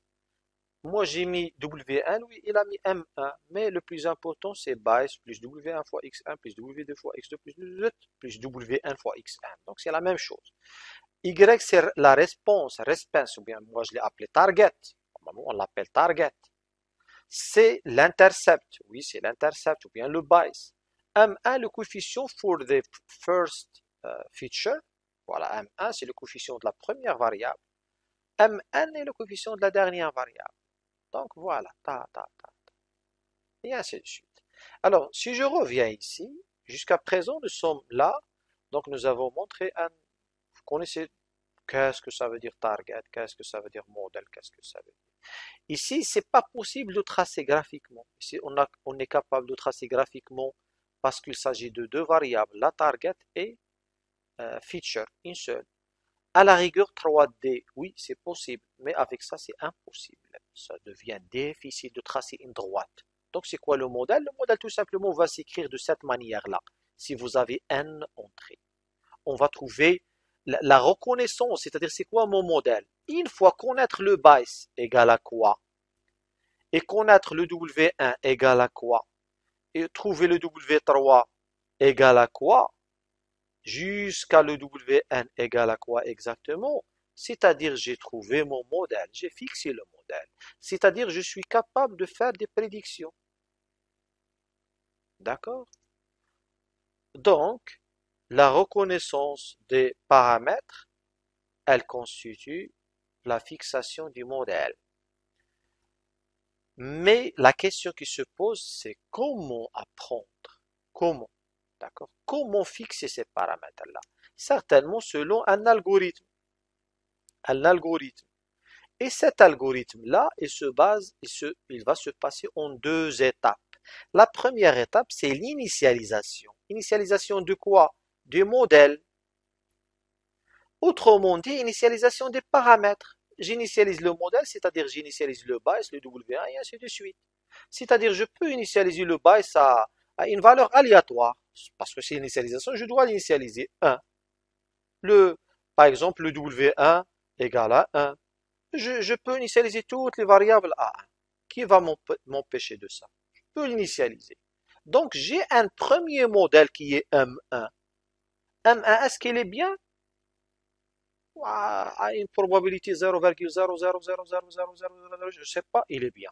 D'accord Mais pour euh, voir est-ce qu'il est bien ou bien pas bien, je dois l'évaluer. D'accord Je dois calculer l'erreur quadratique. Comment calculer l'erreur quadratique sur la base d'un historique Donc on va évaluer. Je ne vais pas entrer dans le détail de comment l'évaluer. Est-ce qu'il est bien Est-ce qu'il n'est pas bien S'il n'est pas bien, je calcule l'erreur, je calcule une erreur, je calcule une erreur. Et l'objectif, c'est quoi? L'objectif d'après calculer l'erreur. Il faut diminuer l'erreur. Diminuer l'erreur. C'est-à-dire, elle doit tendre vers zéro, si vous voulez dire. C'est ça un bon modèle. Si l'erreur commise tend vers zéro, c'est-à-dire il s'agit d'un bon modèle. Donc, c'est-à-dire, je vais changer l'objectif maintenant, je vais commencer de faire le, training. Le training, c'est quoi? C'est tout simplement update. Update quoi? Update paramètres. Je vais mettre à jour les paramètres. Comment mettre à jour le paramètre? Par exemple, pour le base. Égal à quoi le base Le nouveau base. Égal l'ancien base plus quelque chose, ou bien moins quelque chose. C'est-à-dire, je suis en train de le mettre à jour. Le W1 pareil égal, égal ancien W1 moins quelque chose ou bien plus quelque chose, ça dépend, on va voir. Et ainsi de suite jusqu'à le Wn égale à W1 égale à Wn moins ou bien plus quelque chose. Et particulièrement, on va faire moins et je vais vous montrer pourquoi on va faire moins. Donc ici, l'algorithme se base sur deux étapes principales qui sont l'initialisation. Ensuite, c'est cette phase-là qui s'appelle entraînement ou bien apprentissage. Cette partie-là dans laquelle je vais mettre à jour les modèles d'une manière successive jusqu'à trouver le bon modèle. C'est-à-dire, je peux dire tout simplement, je vais faire une, mise à jour mille fois. D'accord? Donc, pour i égale à 1, à, je sais pas, à 100 000 par exemple, faire. Faire quoi? Faire ça et ça et ça et ça. Et ici, euh, fin de la boucle. Regardez ici, je vais faire cent mille fois je vais faire la, mise à jour de base. C'est-à-dire, je vais m'approcher. À chaque fois, je m'approche d'un pas vers le bon base. On va voir par la suite comment, ça se fait. Mais l'intérêt, finalement, c'est ça. Donc, cette phase-là, cette phase-là, l'algorithme, c'est initialisation. Vous pouvez dire tout simplement euh, mise à jour, update. D'accord? Mise à jour, update. Donc l'algorithme c'est ça. Initialisation, update, update quoi? Update modèle. D'accord? Ou bien paramètres. Paramètres. D'accord. Voilà. Et fin. Et après fin de, des itérations, donc vous allez sortir avec le bon bias, le bon W1, le bon W2 et ainsi de suite. Donc ça, en ce qui concerne ces, ces choses-là. Donc ça, pour la régression linéaire, D'accord? Et pour la régression logistique, c'est la même chose, sauf la fonction d'activation, elle doit prévoir une probabilité. Donc ce problème-là, pour la classification, c'est un problème qui est simple. Pourquoi on, dit qu'il s'agit d'un problème simple? Parce qu'il qu'il euh, est linéairement séparable. Donc, problème simple, il est linéairement séparable, c'est-à-dire un seul neurone suffit pour le mettre en place. Pour réaliser notre réseau de neurones, capable de faire la prédiction d'une manière correcte, pour un problème linéairement séparable, il suffit un seul neurone. Sinon, c'est pas, s'il est non linéairement séparable, c'est-à-dire j'ai des données qui ne sont pas forcément linéairement séparables. Et une fois pensé à un problème non linéairement séparable dans la littérature d'accord, de machine learning, la première chose à étudier pour un problème non linéairement séparable, on pense à XOR problème. Et ça, si vous êtes curieux et vous allez entre, vous allez mettre euh, non linearly, d'accord, séparable problème, vous allez euh, aller vers image, d'accord, vous allez certainement avoir beaucoup de choses. C'est-à-dire ça, c'est un problème qui est non linéairement séparable. C'est-à-dire je suis je ne peux pas tracer une droite pour séparer entre les rouges et les bleus. Par contre ici, je peux tracer une droite pour diviser entre les rouges et les bleus. Pourquoi ce monsieur-là, il a tracé ce point rouge-là? Peut-être pour dire la, la droite noire, c'est le bon modèle, mais certainement ce point rouge, c'est une erreur. C'est un outlier. On va voir par la suite c'est quoi une erreur. Mais ici, je vais certainement, on va trouver, ça c'est, ça pour, pour vous montrer, par la suite, on va faire appel, c'est quoi l'overfitting, c'est-à-dire le surapprentissage. Parce que le surapprentissage, euh, c'est dire tout simplement attention, attention de, euh, d'avoir un, excès d'apprentissage. L'excès d'apprentissage peut conduire à un, mauvais modèle. Par exemple, pour ce cas-là, il faut tout simplement faire euh, cette droite ici, peut-être cette droite, et pas ça, qui est sous forme de courbe. Parce que ce modèle-là, c'est mauvais. D'accord? On va voir par la suite c'est quoi. Ça, c'est non. D'accord? Par contre, le, le cercle, c'est le bon, le bon modèle. D'accord? Et ici, c'est simple. D'accord? Donc, ce cours-là, certainement, il parle de surapprentissage, sous-apprentissage, et ainsi de suite. Donc, ici, c'est un problème linéairement séparable. Ça, c'est non linéairement séparable. regardez ici, c'est euh, peut-être c'est non linéairement séparable, mais avec euh, je ne sais pas quoi. Mais si on va chercher d'autres, si on va chercher d'autres, certainement on va trouver le XOR normalement. Voilà, ça c'est le XOR c'est-à-dire le XOR, c'est-à-dire il, c'est le ou logique exclusif. C'est-à-dire euh, je, dois utiliser un ou exclusif pour faire la séparation entre classes. C'est-à-dire je dois tracer un, deux droites, d'accord, pour pouvoir les, les, les, les séparer comme le cas ici. Moi, j'ai utilisé tout simplement ce problème-là, cette image. Mais ça n'empêche je peux ajouter cette image aussi. D'accord Je peux la mettre comme, euh, comme finalement un problème qui est non linéairement séparable. Et voilà. Donc, pour le XOR, à ce moment-là, un seul neurone n'est pas suffisant. Donc, de ça, de là à là, on va s'intéresser à quoi? On va s'intéresser au réseau de neurones profond. D'accord? C'est-à-dire, je dois faire appel à une couche cachée au moins ayant des neurones. Et ça, c'est la couche de sortie. D'accord? Donc, une fois comprendre un réseau de neurones avec plusieurs neurones et plusieurs couches, à ce moment-là, je suis capable de faire la classification des images, et en particulier les nombres écrits à la main, handwriting digits. C'est un problème qui est très connu, donc populaire pour le, traiter, dans le cas de, de réseaux de neurones profonds. Et à ce moment-là, il se peut que nous allons utiliser, euh, on va généraliser, d'accord, la, taille des données. De là à là, c'est simple, c'est juste question de paramétrage. Mais le plus important, c'est comprendre cette partie-là. Nous avons deux entrées, d'accord, avec quelques neurones, et je suis capable de faire la séparation entre classes. Donc, parce que, comme j'avais énoncé au début, pour bien apprendre les, les réseaux de neurones, ou bien n'importe quelle technique machine learning, il faut commencer par des techniques simples, ou bien des problèmes simples, des techniques simples, et après généraliser. Donc c'est ça le, secret. que nous allons utiliser le, long de ce cours-là. Alors, bien sûr, je vais commencer avec le problème de régression linéaire. Et comme vous le constatez ici, j'ai utilisé beaucoup de points. Donc, pour simplifier encore, je vais utiliser juste trois points qui sont exactement linéaires. C'est-à-dire, pour une simple, une simple, une simple question, si je vais vous dire euh, pour, pour 2, j'ai en entrée 2 qui va me fournir la sortie 4. D'accord? Jusqu'à présent, vous ne pouvez pas connaître le modèle. Je vais vous dire pour la sortie, pour l'entrée 3, vous allez avoir la sortie 6. Pour la sortie, pour l'entrée, pour l'entrée 4, vous allez avoir 8. Alors, je vais vous poser la question. Pour 5, prévois-moi la valeur. 10. Donc, qu'est-ce que vous avez fait? Vous avez établi un modèle. Donc, qu'est-ce que vous avez trouvé?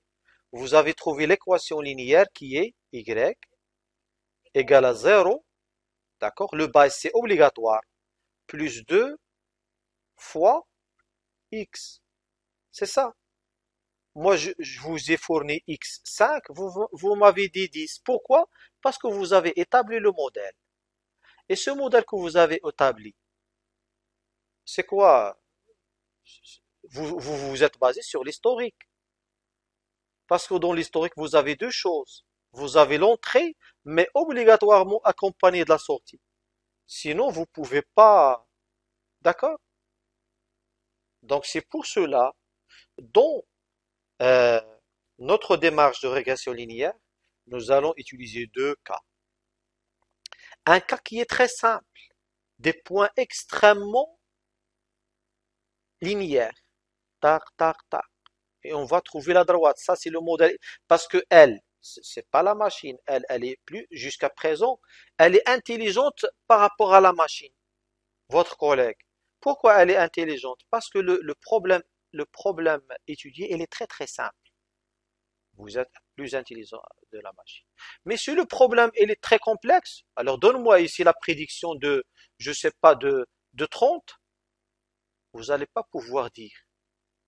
D'accord? Pourquoi? Parce que vous avez un problème un peu plus complexe par rapport à celui-là. Donc la machine va euh, répondre rapidement que vous. D'accord? Donc finalement, nous allons traiter un cas simple dans lequel il y a uniquement quatre points.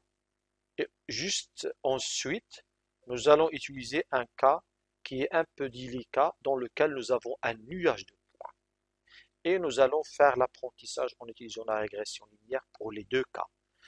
Une fois faire ce cas-là, c'est bon. Nous sommes capables de faire la même chose pour celui-là. Alors c'est quelle heure Donc 2h20. 1h30. Donc presque, presque nous avons fait 1h30. Donc euh, vous voulez qu'on continue un petit peu? Parce que si je vais continuer, il me faut... Euh,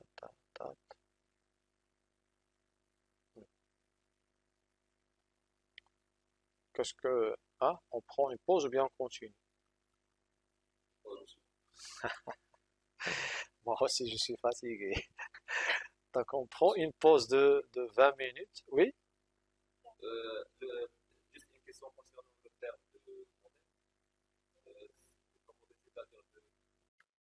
Donc voilà, on va reprendre. Donc euh, on était en train de, de voir euh, deux, pro, deux problèmes. Donc un problème qui est basé sur un dataset de quatre points uniquement qui sont euh, linéaires parfaitement. Et ici, normalement, à partir de ce cas-là, normalement ici, l'humain, il peut faire aussi réaliser un modèle. Ici, dans ce cas-là, normalement, c'est difficile pour l'humain de, de, de, mettre en place un modèle, de faire la prédiction. Donc, on va voir dans le premier cas comment la machine elle peut construire le modèle qui est la droite, c'est-à-dire ça, c'est un cas initial. Et par la suite, comment la machine elle va trouver une droite capable de passer par tous les points. Donc, état initial, il passe par aucun point. Donc, de manière aléatoire, je peux avoir euh, une infinité de modèles initiaux, d'accord? Comme ça, par exemple. Plusieurs, chaque droite a constitué un modèle. Et vers la fin, le plus important, c'est vers la fin, peu importe l'état initial, après apprentissage, il doit passer à travers tous les points. Pourquoi? Parce qu'ils sont linéaires. Mais ici, c'est pas linéaire. Donc je peux commencer par n'importe quel modèle, d'accord? Je peux avoir plusieurs, même celui-là, par exemple, celui-là, d'accord? Je peux avoir plusieurs droites. C'est une selon de selon le bas c'est le W1, je trace la droite. Si je le bas c'est le W1, je trace la droite. Donc ici j'ai commencé avec celui-là, mais vers la fin je dois je dois euh, avoir un modèle capable de, passer à travers le, nuage. En minimisant l'erreur. Donc la question qui se pose, c'est quoi l'erreur? Déjà, on va la voir euh, dans la suite. Alors, supposons que nous avons ça, d'accord? Alors, à votre avis, tout à l'heure, on avait proposé un dataset qui est 2, 3, 4 accompagné des sorties 4, 6, 8, et votre collègue, il a dit le modèle c'est 0 plus 2 fois x. Alors pour ce modèle-là, c'est quoi le modèle à votre avis? Le dataset c'est 1, 2, 3, 4, là c'est 4, 7, 10, 13. C'est quoi le, le modèle? Hein? 3x plus 0. 3x, ça va, ça va donner 3. Non, non, non. Non. Non. de... Voilà. Tu as plusieurs modèles. Ton modèle, il donne beaucoup d'erreurs. Ton modèle 3x plus 1. D'accord. C'est-à-dire jusqu'ici, il s'agit des problèmes simples. 3 fois x plus 1. Ce modèle-là, il donne euh, moins d'erreurs. D'accord Surtout, il est parfait dans la partie blanche, mais dans la partie bleue, hmm, il fait une petite erreur, c'est pas grave. D'accord? Mais c'est ça le modèle. Mais le modèle qui dit voilà 2x, 2x plus 2, je sais pas. Ah, pour le premier, ça va, mais euh, ici, il faut calculer l'erreur si je vais tester sur les mêmes données. Donc, c'est quoi l'erreur qu'on mise ici? C'est 0. Pourquoi? Parce que 3x plus 1, c'est exactement euh, y hat. Donc je dois tracer le y hat. y hat, c'est quoi le y hat? C'est 4. C'est 4 ici. Et pour celui-là, c'est 7. Et pour celui-là, c'est 10. Pour celui-là, le y hat toujours. Celui-là, c'est 13. Toujours en se basant sur notre modèle qui est, qui est bien sûr 3x euh, plus 1. D'accord Donc, il a ce résultat-là. Maintenant, je peux calculer l'erreur. D'accord Je peux calculer l'erreur. C'est quoi l'erreur? C'est tout simplement la différence. 4 moins 4, c'est 0. 7 moins 7, c'est 0. 10 moins 10, c'est 0. 13 moins 13, c'est 0. Et pour ce ici, combien je vais avoir? 3x plus 1. Je vais avoir 21. C'est quoi l'erreur? C'est 1. Donc voilà une erreur. Supposons que j'ai beaucoup de données. Alors ici, si, j'ai la réalité par exemple 44, supposons la réalité 44, non, euh, voilà, la réalité c'est le y hat, je vais. Le y hat réel.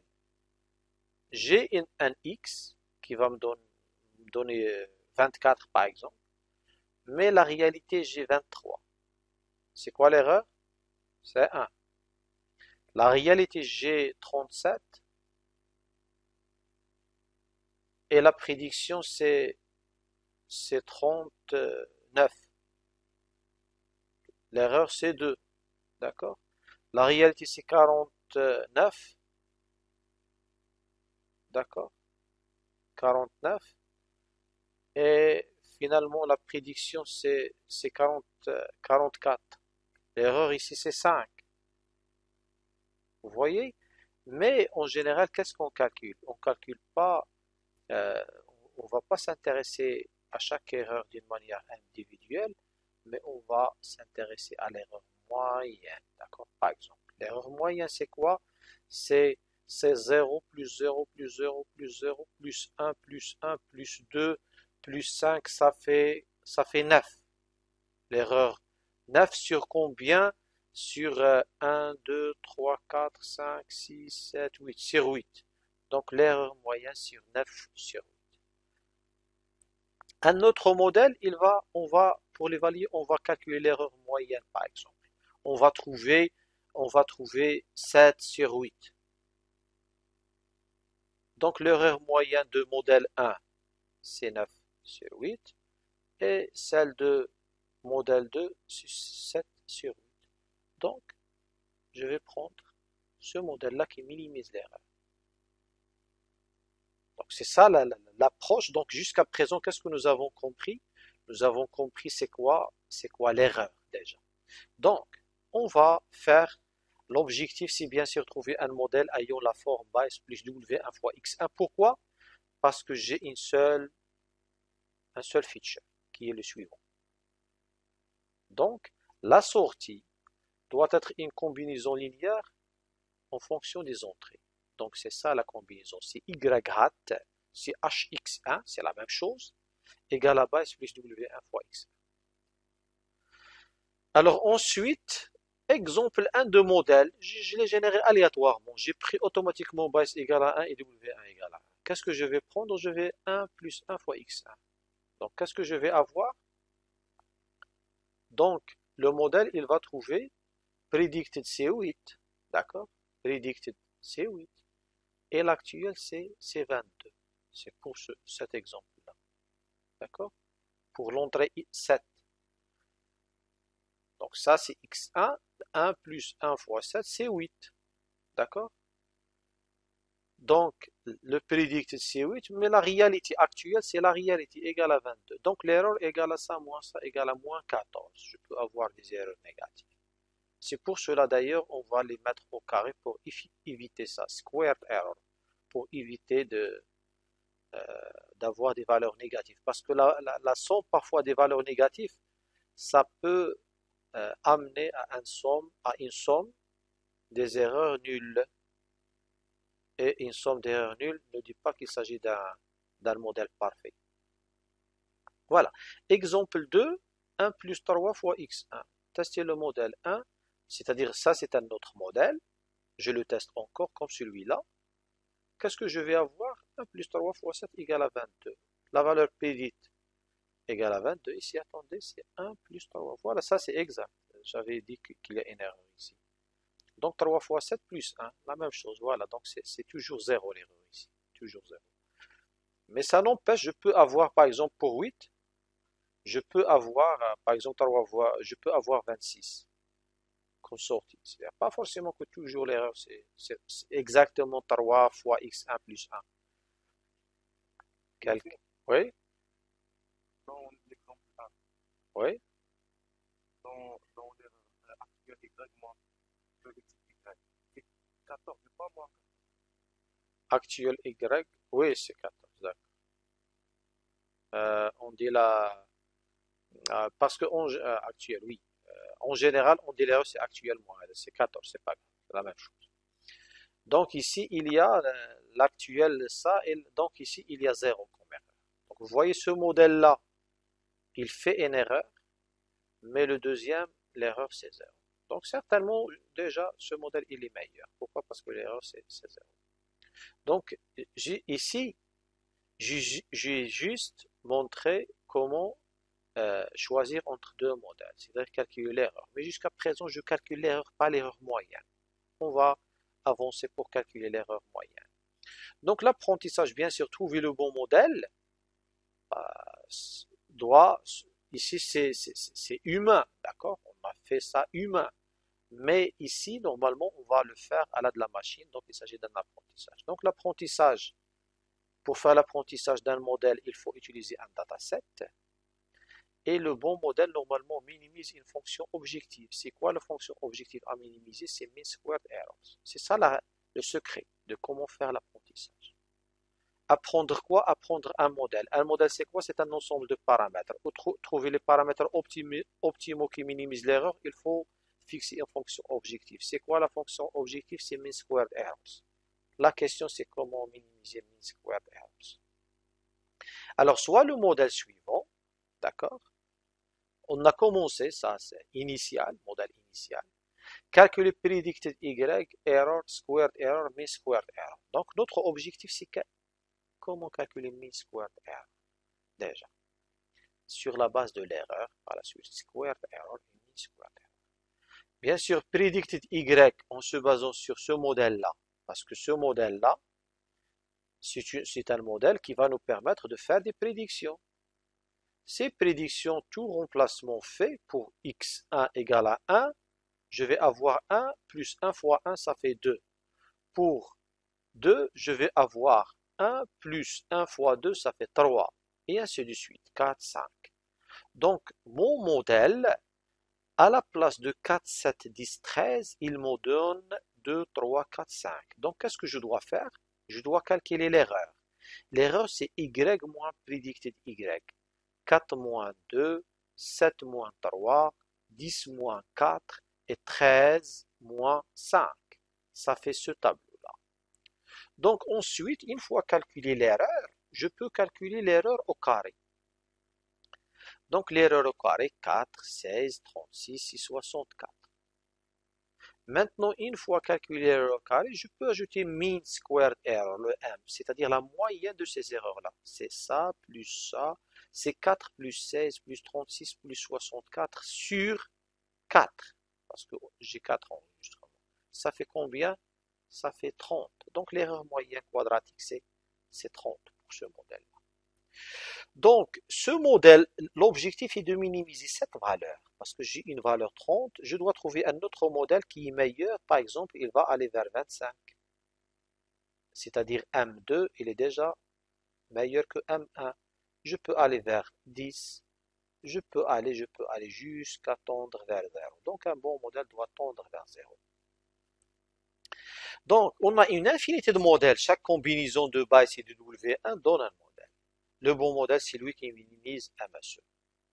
Alors, on va commencer tout simplement par un modèle. D'accord? Ici, j'utilise quoi? J'utilise l'algorithme de régression linéaire. C'est-à-dire trouver une combinaison linéaire pour faire la prédiction. D'accord? C'est quoi mon modèle? C'est le bias, c'est ça mon modèle. Bias plus W1 fois X1. Et bias plus W1 fois X1, c'est celui qui va me, me mettre de faire la prédiction je vais faire la prédiction sur la base de ce modèle-là. Donc l'algorithme, en général, qu'est-ce qu'on va faire? L'algorithme, la première étape, c'est initialiser le modèle. Autrement dit, initialiser le bias W de manière aléatoire ou bien de manière fixe. Et une fois répété une fois, ou bien epox, parce que dans le jargon de machine learning, on dit epox.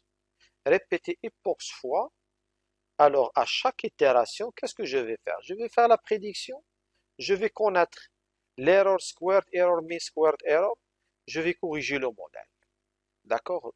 Corriger le modèle selon une mise à jour. Comment faire la mise à jour? La mise à jour, c'est la question la plus centrale de cet algorithme. C'est-à-dire, comment je vais faire la mise à jour? Mais ça, c'est simple à comprendre. Prédire, voir l'erreur, corriger, mais corriger, vous pouvez dire en, minimisant l'erreur. En minimisant l'erreur. Donc c'est pour cela, on va voir comment. Donc supposons que nous avons ce modèle-là. Comment arriver à partir de ce modèle qui est initial et après processus d'apprentissage, je dois passer par, ou bien je dois fixer un modèle qui est 1 plus 3 fois x1. Et si je trace la droite relative à ça, ça va passer par tous les points. Donc c'est ça le problème. Alors, si on va l'écrire autrement, on va, c'est-à-dire il y a une technique qui s'appelle gradient descent algorithme, ou bien l'algorithme de la descente de gradient. L'algorithme de la descente de gradient, c'est un algorithme qui est très populaire en machine learning.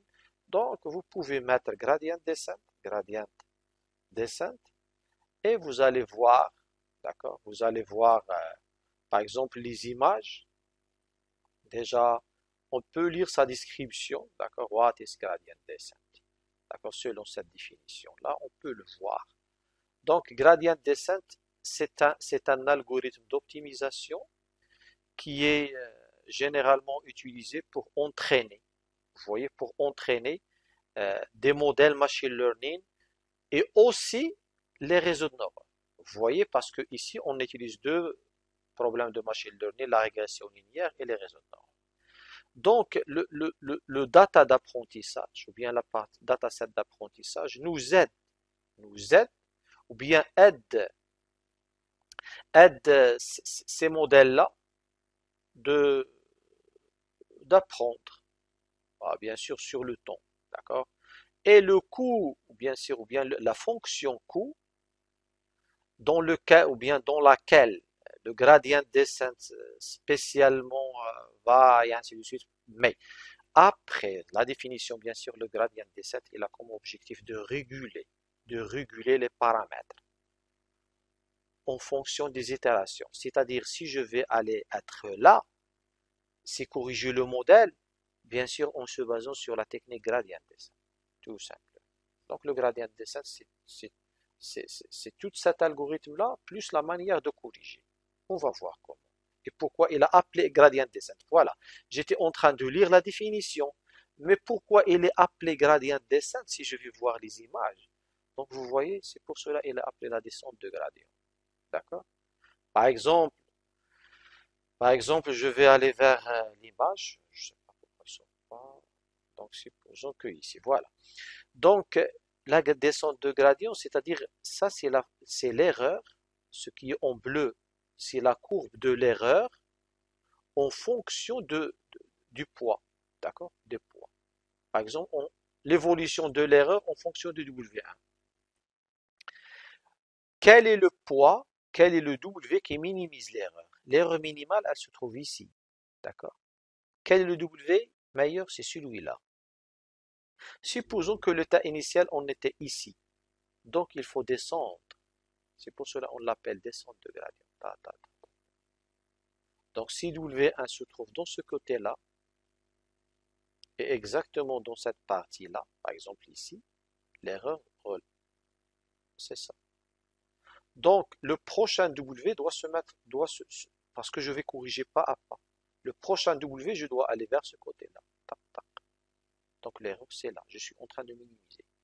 Il y a ainsi de suite, pas à pas. Par exemple, si je suis ici, l'erreur, elle est là cest je suis en train de descendre. Et si je suis ici, l'erreur elle est là. Je suis en train toujours de descendre.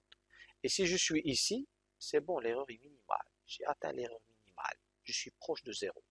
Si je vais continuer l'apprentissage d'une manière euh, pas bonne, c'est-à-dire je vais risquer de s'éloigner du minimum. D'accord Je vais encore m'éloigner du minimum.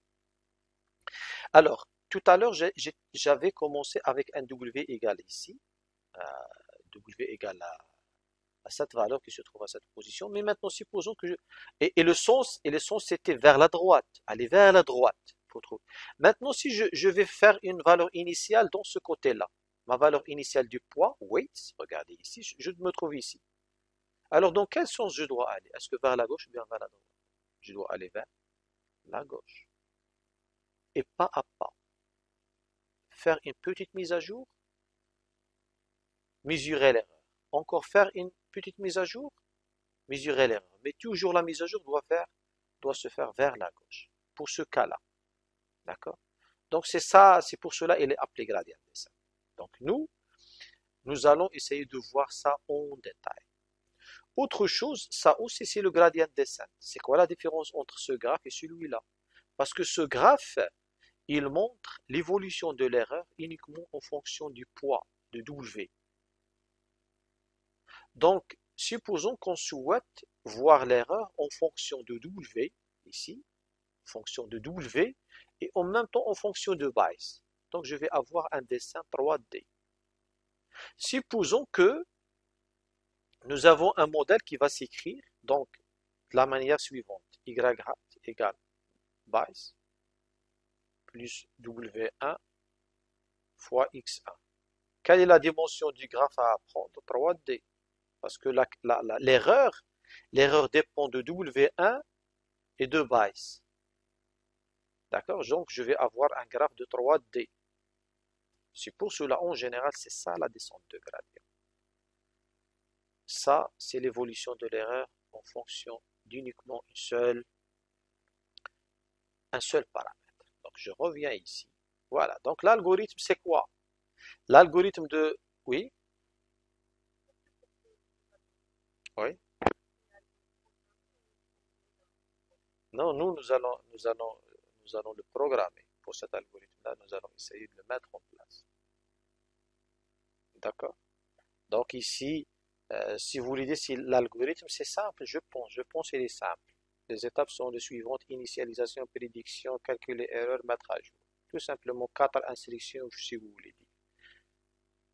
Donc si, si je vous demande par exemple, donnez-moi l'algorithme, euh, oh, je l'ai mis en place, mais par la suite, je ne vais pas anticiper pour garder l'enregistrement de la vidéo, normalement ça. Alors par la suite, certainement, nous allons faire des exercices, deux, trois exercices pour bien comprendre cette partie-là. Donc, vous êtes amené à, faire des exercices. Et une fois nous allons faire la correction, bien sûr, je vais publier les choses sur YouTube. Et comme ça, vous aurez le bagage nécessaire pour, pour l'apprendre. D'accord? Mais, bien sûr, ça, c'est simple.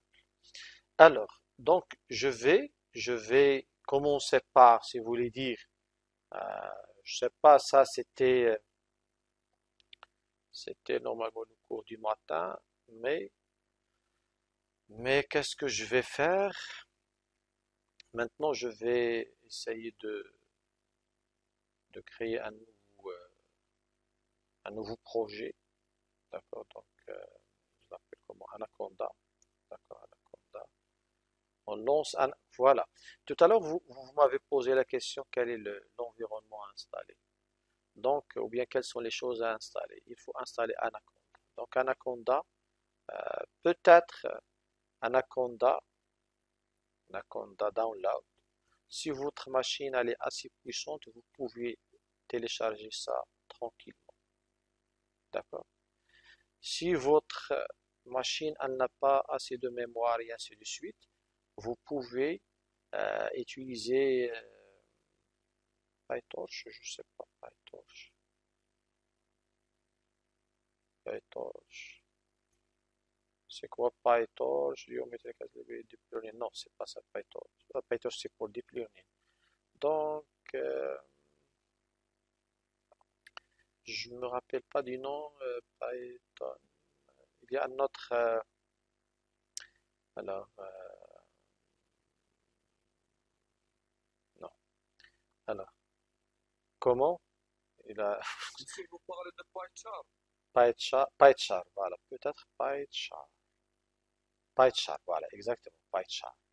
D'accord? PyCharm. PyCharm ou bien PyCharm PyCharm. Voilà, PyCharm, c'est celui-là. D'accord? C'est un IDE, parce que je cherche un IDE. Celui-là, il est euh, finalement euh, pas coûteux en termes de mémoire, je l'ai déjà d'ailleurs moi, PyCharm, c'est celui-là. Donc il vous permet de d'écrire du code Python. Et, euh, mais dans les bibliothèques, chaque bibliothèque euh, dont vous aurez besoin, il faut faire les installations nécessaires. Et Python, normalement ça c'est un projet ancien que je l'avais utilisé. Mais si vous allez au projet, par exemple, je sais pas, je peux mettre Ici, il est en train de chercher l'interpréteur. D'accord, c'est l'exécuteur, il faut avoir un exécuteur correct. Vous allez créer euh, this window, d'accord. Par exemple, je vais créer un, euh, nouveau projet, d'accord. Euh, close, je peux mettre, d'accord, ici comme, d'accord, je peux mettre print, ok. Ça, c'est system.out.println. D'accord. Vous voyez, il a déjà écrit OK. Au lieu de, de mettre classe, classe, par exemple, programme, public, static void, main string, arc, system.out.println, OK, tout simplement en Python, c'est ça. Bah, finalement, c'est un langage simple à apprendre.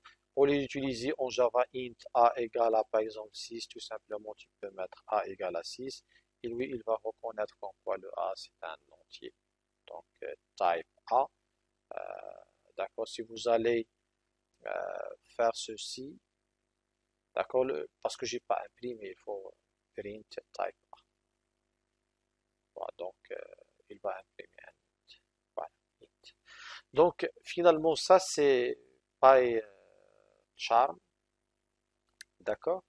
Pour, euh, c'est un IDE pour créer des, des projets Python. Mais pour les bibliothèques, il faut les intégrer. Par contre, moi, souvent, si vous avez une machine assez acceptable, vous pouvez utiliser Anaconda. Donc, une fois utiliser Anaconda, dans Anaconda, il y a deux manières de la lancer. Soit la lancer d'une manière graphique, c'est celui-là, d'accord, Anaconda Navigator. Donc, dans lequel vous allez le lancer. Mais si votre, moi, j'ai pas une machine réellement puissante, très puissante pour qu'elle lance ceci. Parce qu'il est gourmand en mémoire. Il va se lancer, oui, mais il va prendre du temps. Moi, en général, pour euh, alléger ma machine, j'utilise ça. J'utilise l'invite commande. Mais l'invite commande, certainement, il va m'en donner vers la fin Jupyter Notebook, parce qu'à partir de Anaconda, si je vais le lancer, elle va lancer un nom, ah, voilà, je l'ai lancé. Elle va lancer beaucoup de choses, mais en réalité, moi, moi j'ai pas besoin de toutes ces choses-là. J'ai besoin uniquement de, je vais le lancer quand même, de se lancer, mais en même temps, je lance l'invite commande. D'accord? Alors, oui,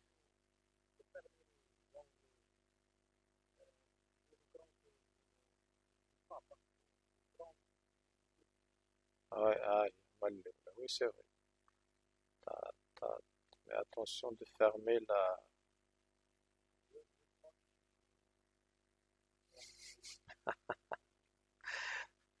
d'accord, donc je vais pas la fermer, j'espère.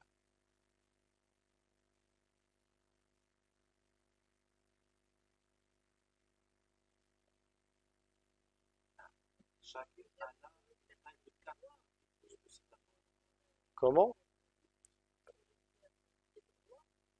Fermer les autres. Très bien, très bien. Fer- fer- fermer les autres.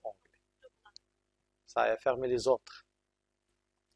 D'accord, très bien. Donc, euh, euh, maintenant, peut-être Anaconda, voilà, elle a été lancée. Voilà, parce qu'il prend quand même un peu de temps. Non. Et je vais lancer, euh, lancer quoi? Jupyter Notebook. Vous voyez? Il contient beaucoup de ce logiciel, mais moi, je, peux, ce que je souhaite utiliser, c'est Jupyter Notebook. Jupyter Notebook. Voilà, le suivant. Je vais le lancer, il va prendre du temps pour se lancer, parce que tu vas le lancer 100% graphique. Moi, je vais lancer Jupyter Notebook, mais d'une manière, d'une manière invite commande. Et, au début, normalement, je dois me positionner dans le dossier dans lequel je souhaite mettre mes projets. Donc, moi, j'ai déjà une manière de faire. Je suis dans formation et je vais aller dans machine learning. Je vais aller dans... Voilà, je vais, je vais le lancer à partir d'ici. Jupyter Notebook, tout simplement. Jupyter Notebook. Et voilà, je vais le lancer. Ah, Comme ça, je ne consomme pas beaucoup de ressources mémoire. D'accord? Il va le lancer. Voilà, il va le lancer sur le web. Ici, c'est un navigateur web. Je vais entrer vers 2022-2023. C'est un projet. Ça, c'était pour le sciences de données et intelligence artificielle, la filière normalement au sein de l'INSET. Et nous, on a créé tout à l'heure ce dossier-là, dans lequel nous allons créer notre propre euh, projet Python. D'accord? Et ici, Notebook, pour juste rappeler, euh, Jupyter Notebook, c'est un, c'est un éditeur à base de cellules. Donc, chaque cellule contient un bout de code. Un bout de code qui peut être euh, exécuté séparément des autres. Donc, à chaque fois, je peux revenir vers une cellule pour exécuter son code. Par exemple, ici, je peux écrire deux, d'accord, euh, une euh, hello, hello Python, d'accord. Ça, c'est un, c'est une chaîne de caractères que je vais, euh, je vais imprimer, d'accord. Si je vais exécuter, il va afficher le résultat juste après. Donc ça, c'est la, le code et ça, c'est le résultat. Mais ici, il m'a donné la main. Une fois j'ai exécuté ça, soit je l'exécute à partir d'ici, ou bien je, en général, moi, je fais Shift Entrée. Shift Entrée pour, euh, c'est-à-dire cliquer sur la cellule, Shift Entrée pour exécuter. Alors là, je souhaite, par exemple, euh, écrire une autre, une autre, non, c'est pas une, je peux mettre A égale à 5. C'est-à-dire, il a mis dans A5. Si je vais imprimer A ici, il va imprimer 5. Parce que pour lui, A égale à 5. même s'il s'agit d'autres aussi. D'accord? Si je vais mettre ici b, b égale à a plus 6, c'est-à-dire jusqu'ici, le b égale à combien? Égale à 11. Si je vais mettre print b, il va imprimer 11. Alors j'ai beaucoup de cellules. Supposons que j'ai besoin d'un bout de code que je souhaite l'insérer entre la ligne 7 et 8. Je peux mettre B. D'accord Cliquez sur la touche du clavier B, sur la lettre B. Donc, non, B, il l'a inséré après. Je souhaite dire A. D'accord A pour l'insérer avant. Donc, tu sélectionnes, tu tapes A, il l'insère avant. Tu tapes B, il l'insère après. Donc, ici, je peux, par exemple, après, après la ligne, euh, la ligne 9, je peux mettre B, il va mettre entre ces deux choses-là. Voilà. Pour supprimer les cellules, tu peux mettre ceci, ainsi de suite. Voilà. Donc jusqu'à maintenant, on sait qu'est-ce que ça veut dire, euh, comment créer une cellule, comment l'exécuter. Maintenant, comment euh, faire de, l'apprentissage, d'accord, l'apprentissage de notre algorithme. Donc je vais essayer de faire, euh, je sais pas, je vais essayer de faire y.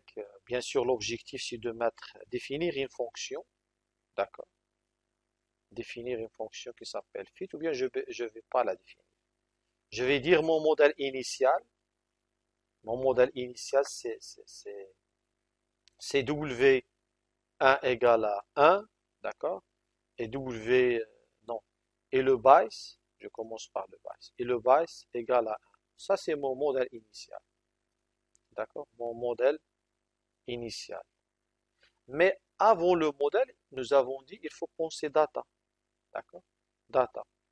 Et par la suite, après, c'est training des modèles. Train ou bien predict. Predict. Et après, euh, train. Parce que je dois prédire. Je dois connaître comment prédire et je dois connaître comment train. Donc, data. Voilà le data, c'est X. D'accord Ici, euh, avant d'arriver au data, je, je vais ouvrir une parenthèse pour parler pour parler des data en Python. Donc, euh, ce que c'est data? Ce que c'est data? Data, on peut avoir plusieurs types. x égale à 1, c'est un scalaire. x c'est un scalaire ici en Python. C'est une valeur atomique. x égale à bonjour. Bonjour, c'est une chaîne. D'accord. Mais nous, on a besoin de quoi en réalité? On a besoin on a besoin ici d'un tableau. Ça, c'est un tableau. Le tableau, pour le créer, c'est simple en Python. Je peux tout simplement faire ceci. D'accord? Je peux mettre 1, 2, 3, 4, et voilà, j'ai une liste, x égale. Je peux l'imprimer, le x. Je peux l'imprimer. Print x. Print x. Il va. Print x. Vous voyez, je suis trompé.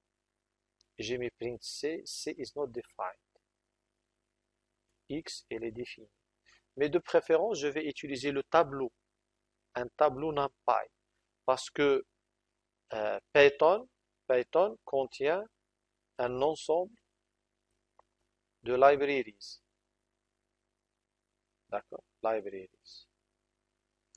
Parmi ces libraries-là, il y a la library, les packages, si vous voulez dire, NumPy. NumPy, c'est une bibliothèque, bibliothèque pour manipuler les tableaux, les tableaux et matrices. D'accord.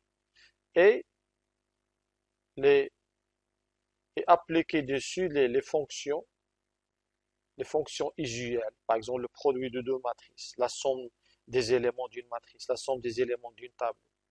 Toutes ces fonctions-là se trouvent au NumPy.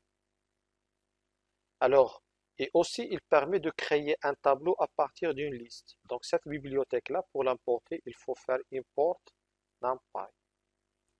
D'accord? Je peux l'utiliser de cette manière. Je l'ai importé, c'est bon, mais je peux l'utiliser pour créer x. Je peux mettre numpy.array.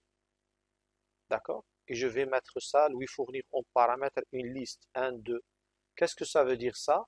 Cette fonction qui s'appelle array, elle reçoit en paramètre une liste et il va retourner un tableau. Par exemple, ce tableau-là, il s'appelle t. Donc t égale à 1p.array. Si je veux imprimer t, regardez, Ici, en Jupyter Notebook, j'ai pas besoin de mettre print, print T. On peut le faire, oui, mais je peux faire directement. Je peux faire directement ça, print T. D'accord. Ou bien je peux faire T tout court. Il va imprimer tout ça. D'accord. Donc j'ai, je suis capable de créer un tableau de données de manière très simple. Donc il suffit d'ajouter ici par exemple un x. Il vaut mieux utiliser les, les, voilà. Parce que j'ai utilisé NumPy, il faut l'utiliser complètement ici pour pouvoir créer le tableau. Sinon, en général, on fait ça. Maintenant, NP, c'est un alias. Vous pouvez, à la place de NumPy, vous pouvez utiliser uniquement NP. Et le problème ici, je suis en train de vous, euh, c'est quoi, NumPy et Python. Mais c'est pas ça le, machine learning. Donc nous, on considère jusqu'à présent, sinon je, peux vous faire une séance à part pour, pour euh, c'est-à-dire euh, répondre à la question quels sont les éléments de base à connaître en Python pour commencer correctement en machine learning. Donc je préfère peut-être mettre cette séance à part pour, ne pas mélanger les objectifs. Donc je peux par la suite vous donner peut-être un cours structuré davantage qui traite ces, choses-là. Mais jusqu'à présent, je préfère, je préfère importer NumPy, d'accord, euh, créer le data, la partie data, créer la data, voilà, mettre tout simplement x, d'accord, grand x parce qu'il peut avoir plusieurs x1, x2, x2, 3 et ainsi de suite. Donc égal à un p.array et je peux mettre ces valeurs-là qui sont 1, 2, 3, 4, d'accord euh, donc, dans liste, il ne faut pas oublier 1, 2, 3, 4. Voilà, j'ai le X. Pareil pour le Y. Pour le Y, je dois l'avoir séparément. Donc, toujours au machine learning, je donne séparément les deux choses là. La partie features et ensuite la partie target qui est 4, 7, 10, 13. 4, un p.array, 4, 7, 10, 13. Voilà mon Y. Donc j'ai le X et le Y, c'est-à-dire j'ai mon dataset. Le dataset, ça c'est la partie features. Et si vous avez remarqué, j'utilise dièse pour mettre en place un commentaire. Dièse suivi d'un texte, il est considéré comme commentaire. Et ça c'est la partie target. Donc vous comprenez jusqu'à présent qu'est-ce que ça veut dire ces choses-là. Vous avez le data. Maintenant, vous pouvez réaliser ou bien initialiser un modèle, init model. C'est quoi mon initialisation d'un modèle? Par exemple, vous pouvez mettre le byte égal à, égal à 1 et le W1 égal à 1. Voilà, vous avez votre modèle. Votre modèle qui est capable de définir une fonction de prédiction, def. Ici, en Python, pour créer ou bien pour mettre en place une fonction, il faut utiliser le mot-clé def. Def f par exemple, print euh, OK. Maintenant, j'ai créé une fonction qui s'appelle f et qui ne reçoit aucun paramètre. Le début ici à la place de parenthèse, plutôt à la place d'accolade ouvrante et accolade fermante. Ici en Python, on utilise le, le deux points pour préciser qu'il s'agit de, de, de début, mais il n'y a pas de fin. C'est quoi la fin?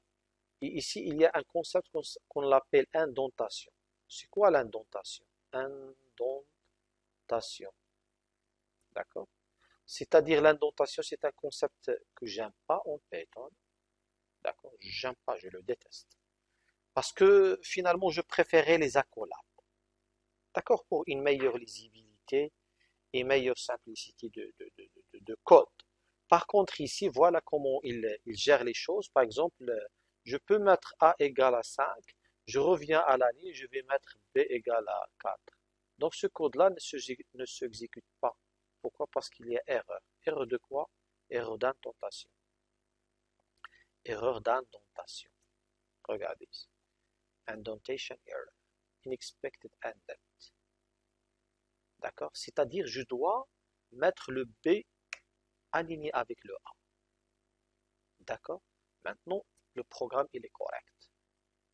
Alors dans le F, la même chose. Si je vais mettre cette instruction A égale à 5, c'est bon. B égale à 8, c'est bon parce qu'il appartient, ils sont alignés. Mais si je sors, c'est-à-dire je vais éliminer l'indent, c'est-à-dire l'instruction, l'instruction OK n'appartient pas à la fonction. C'est-à-dire le début de la fonction c'est ici et sa, sa, fin c'est après l'instruction B égale à 8. Maintenant, print égale print OK ne fait pas partie de la fonction. Maintenant, elle fait partie de la fonction. Et maintenant, ne fait pas partie de la fonction. D'accord? Y compris les boucles, y compris les tests. Pour dire que une partie fait partie de ce bloc, il faut qu'elle respecte des, choses là. Regardez par exemple pour le, je vais écrire une boucle, d'accord, for. Et si les boucles sont différentes, for i in range, d'accord, in range 10, c'est-à-dire pour i égale à 0, i inférieur à 10 et plus plus. C'est exactement ça. Voilà maintenant le début de la boucle. C'est ça. Print OK. Print OK. C'est-à-dire, je vais imprimer OK. Je vais imprimer euh, BC, d'accord? Et je vais revenir là pour imprimer euh, euh, ta, tutu, par exemple. Tutu ne fait pas, print tutu ne fait pas partie de la boucle. D'accord? Et ici, print, je sais pas, print autre. Donc, autre ne fait pas partie de la fonction. Donc, si je vais exécuter ce bout de code-là, quelle est son, exécution? Son exécution, ou bien son résultat, il va imprimer uniquement autre. Pourquoi? Parce que pour avoir fait appel, exécuter le, F, il faut l'appeler. Il faut faire appel à F. C'est-à-dire, je peux faire appel à F. Et voilà, il va exécuter son code. Donc voilà, ça c'est juste pour, euh, d'accord juste pour vous montrer c'est quoi, d'accord, c'est quoi l'indentation et ainsi de suite. Donc, je préfère, je préfère euh, déjà connaître des petites choses au fur et à mesure de Python. Mais maintenant, nous sommes maintenant capables de définir une fonction qui s'appelle predict, qui reçoit en paramètre un x et qui va utiliser le modèle initial. Le modèle, je l'ai effacé malheureusement. Le modèle c'est W 1, W1 égale à 1 et base, base égale à 1. Donc ça, c'est mon modèle initial. Predict, alors qu'est-ce que je vais faire return? Return base plus W1 plus X1. D'accord? Non, plus W1 fois X1. Donc, pour faire la prédiction, regardez, predict quoi?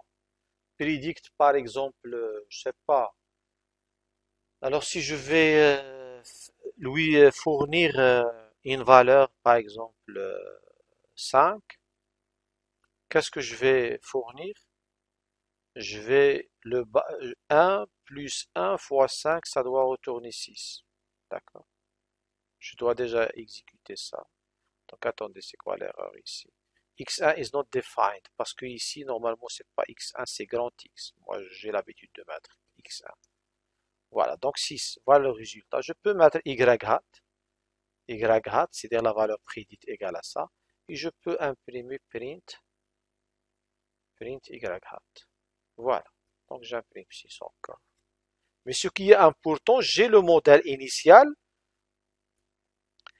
j'ai le modèle initial, le voilà, j'ai une fonction qui fait la prédiction, le voilà, mais maintenant, mais maintenant, qu'est-ce qu'on doit faire? On doit penser à améliorer le, le, programme. Parce que pour 6, pour 6, le bon modèle doit donner, doit donner quoi? Ou bien pour 4, si je, vais tester 4. Le bon modèle doit donner quoi? Le bon modèle doit donner 13. Par contre, mon modèle, il prédit quoi? Il prédit 5. Mon modèle initial. Donc, l'objectif est de faire def train. Train le modèle. D'accord? Train mon modèle qui a X et Y, c'est-à-dire j'ai la partie dataset, je dois entraîner mon modèle. Oui C'est bon Donc, dans le modèle, on a dit pour l'entraînement, on commence par l'initialisation. Donc, voilà l'initialisation. Donc, c'est ça l'algorithme. Voilà, initialisation. Donc, initialisation. Et ensuite, qu'est-ce qu'il y a? Training. Training phase. D'accord? Le training se fait comment? C'est-à-dire changer le W1 égal à l'ancien W1 plus quelque chose, ou bien moins quelque chose. Plus quelque chose, je vais mettre. Plus quelque chose. Et mettre le, le, le bias égal à l'ancien bias plus quelque chose. D'accord? Voilà. C'est-à-dire, c'est ça l'apprentissage. Et vers la fin, ça c'est une boucle, le training c'est une boucle. C'est une boucle, c'est-à-dire for, par exemple, i, euh, in range, par exemple 100, d'accord, ou bien 10. Qu'est-ce que je vais faire? Je vais faire ces choses-là. Regardez ici, je vais sélectionner et mettre tabulation pour l'obliger à qu'il fasse partie de la boucle. Une fois sortir de la boucle, c'est bon, j'ai fait la, mise à jour. Mais la question qui se, pose, c'est quoi cette valeur-là? Valeur, val, d'accord? Et ici, je peux mettre euh, val 1, val 1, ou bien en général, je vais l'appeler db, dw1 parce que la dérivée, parce qu'on va utiliser la dérivée de la fonction coût qui est cost function qui est mean squared error. C'est pour cela que je, l'appelle dw1 ou bien delta w1. Et ici, je peux appeler dBice. dBice. Donc jusqu'à maintenant, j'ai un W1, j'ai un bias, mais le 2W1, je ne l'ai pas. C'est quoi le 2W1 W1 égale à une valeur d'accord? Une valeur de mise à jour. Je peux mettre, je vais mettre à jour euh, de légères choses. À chaque fois, je change, je change très légèrement. Mais jusqu'à présent, pour comprendre ceci, c'est pas évident parce que je, je suis en train de, de, de, chercher à comment trouver la, les valeurs de deux variables simultanément, c'est beaucoup. Donc c'est pour cela je vais mettre une, je vais mettre une considération, je considère que, je considère que le, le par exemple, est préalablement connu. C'est-à-dire le bias, on va dire qu'on le connaît, il s'agit de, de 1, d'accord, de 1, il est correct, mais le W1, il n'est pas correct, d'accord, il est, parce que le bias, il est, correct, donc je ne vais pas le changer. Je ne vais pas le changer. C'est-à-dire maintenant, euh, je peux trouver l'erreur qui va varier uniquement en fonction de quoi? En fonction de, de W1. C'est l'erreur, elle varie uniquement en fonction de W1. Et le changement, à chaque fois, je vais faire de légers, de légers changements que je l'ai noté, je garde des W1. D'accord. Qu'est-ce qu'il reste? Il reste à calculer l'erreur. L'erreur, c'est quoi ici? Hein? On calcule la différence parce que non, oui, la moyenne au carré, la, différence au carré, la moyenne.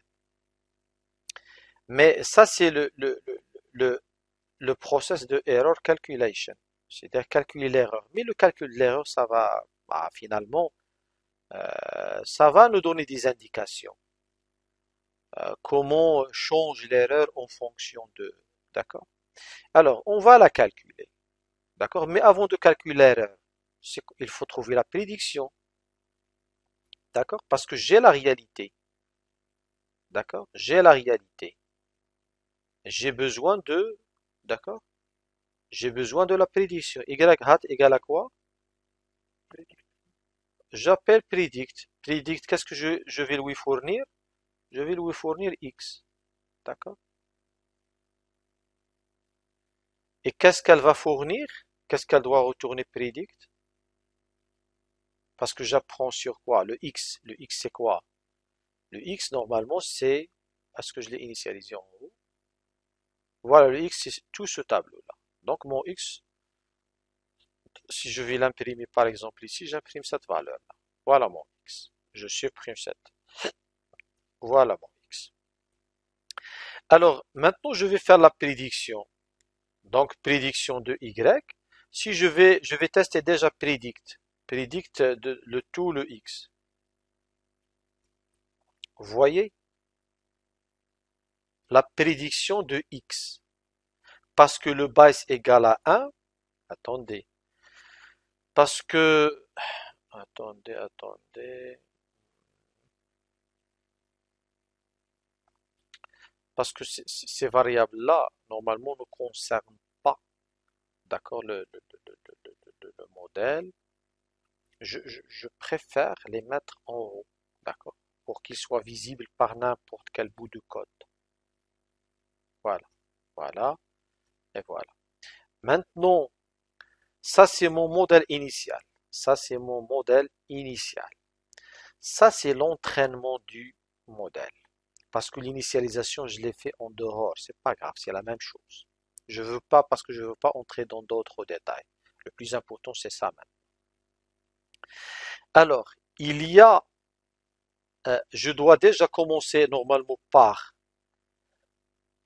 par, euh, par, euh, par la prédiction, mettre euh,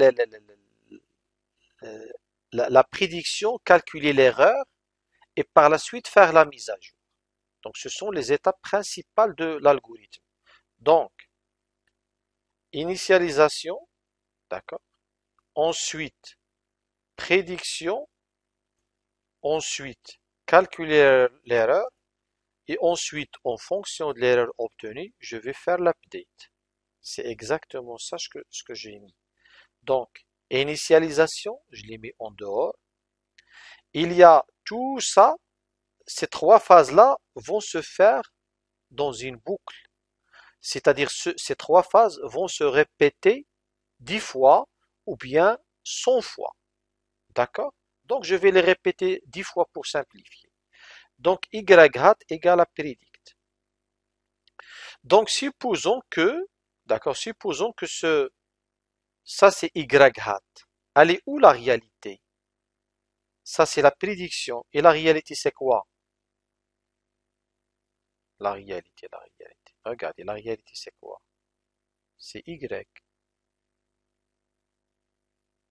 Regardez la réalité. Donc j'ai la réalité et j'ai la prédiction. Comment déchiffrer ça? Au lieu de 4, j'ai prédit 2. Au lieu de 7, j'ai prédit 3. Au lieu de 10, j'ai prédit 4. Au lieu de 13, j'ai prédit 5. Donc c'est quoi l'erreur ici? L'erreur, c'est un tableau d'erreur. C'est un tableau d'erreur.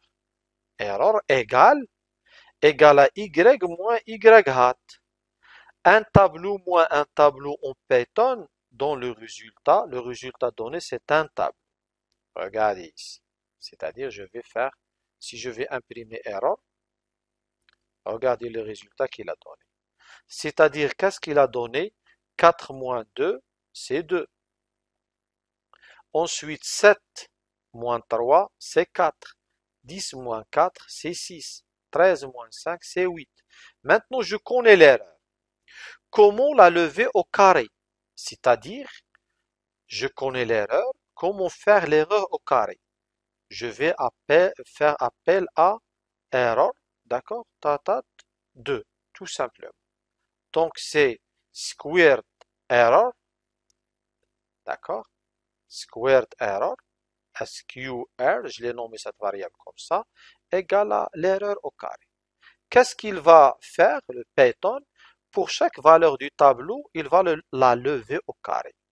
C'est-à-dire, si je vais exécuter ce code-là, en faisant appel à ça, c'est un tableau. Regardez, 2 au carré, ça fait 4, 4 au carré, ça fait 16, 6 au carré, ça fait 36, et 8 au carré, ça fait 64. Donc, j'ai squared error. Maintenant, comment calculer mean squared error? MSE. D'accord? MSE, c'est une moyenne. Donc, 1 sur, 1 sur combien? 1 sur 4, d'accord? 1 sur 4, mean squared error. 1 sur 4, la, somme, c'est-à-dire 4 plus 16 plus ça. Donc, avant d'arriver à MSE, je peux calculer la somme d'erreurs, la somme des, erreurs au carré. Somme, la somme, d'accord? Ça. Comment? C'est quoi le résultat? 4 plus 16. Donc ici, c'est 100, 120. D'accord? Regardez, 120. Donc tout simplement 1 sur 4 fois fois ça. Je sais pas ce que vous arrivez à suivre? Donc je peux afficher MSE. MSE, c'est ça. Donc l'objectif, c'est de diminuer MSE. MSE avec ce modèle-là, c'est 30. Donc, je peux le diminuer. Donc, toutes ces petites compétences-là, c'est juste pour, euh, je vais les utiliser maintenant au sein de mon algorithme. D'accord? Donc, j'ai le Y hat. C'est quoi l'erreur? C'est quoi l'erreur?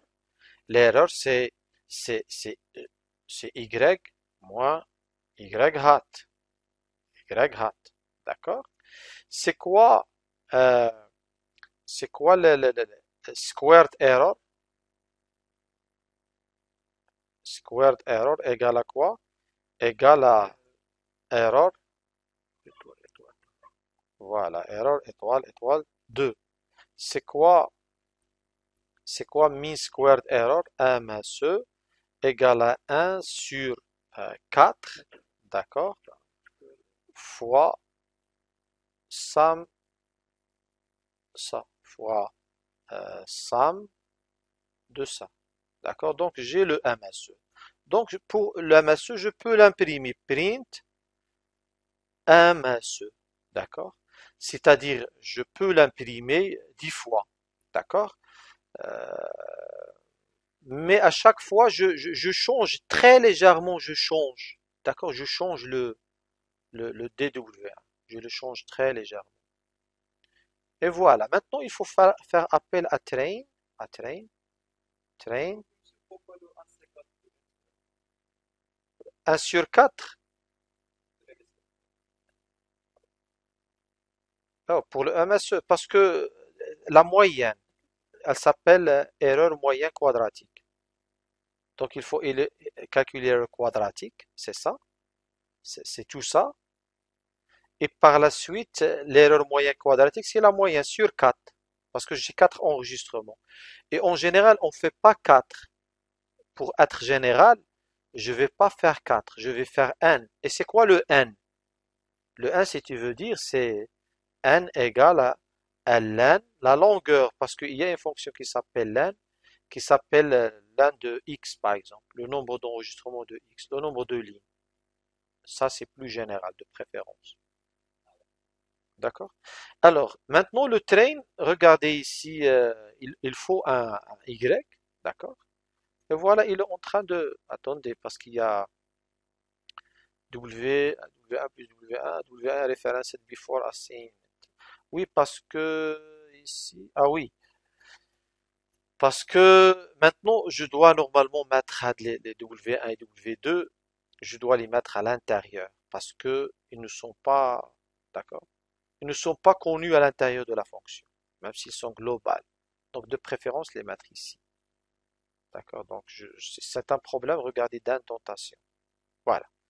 Alors maintenant, la phase d'initialisation, j'ai initialisé, mais ces mises à jour, ces mises à jour ne concernaient pas les modèles. euh, C'est-à-dire, il ne va pas mettre euh, alors, 30, 30, 30, 30. Vous voyez qu'il n'y a pas, n'y a pas de changement. Oui? Là, vous avez mentionné que le W1 et les, et le W target, il est plus, plus grand que le W. Attendez. Euh, oui, c'est ça. Euh, donc, euh, si, si, si on ne sait pas, si on ne sait pas s'il Attendez. Euh, oui, c'est ça.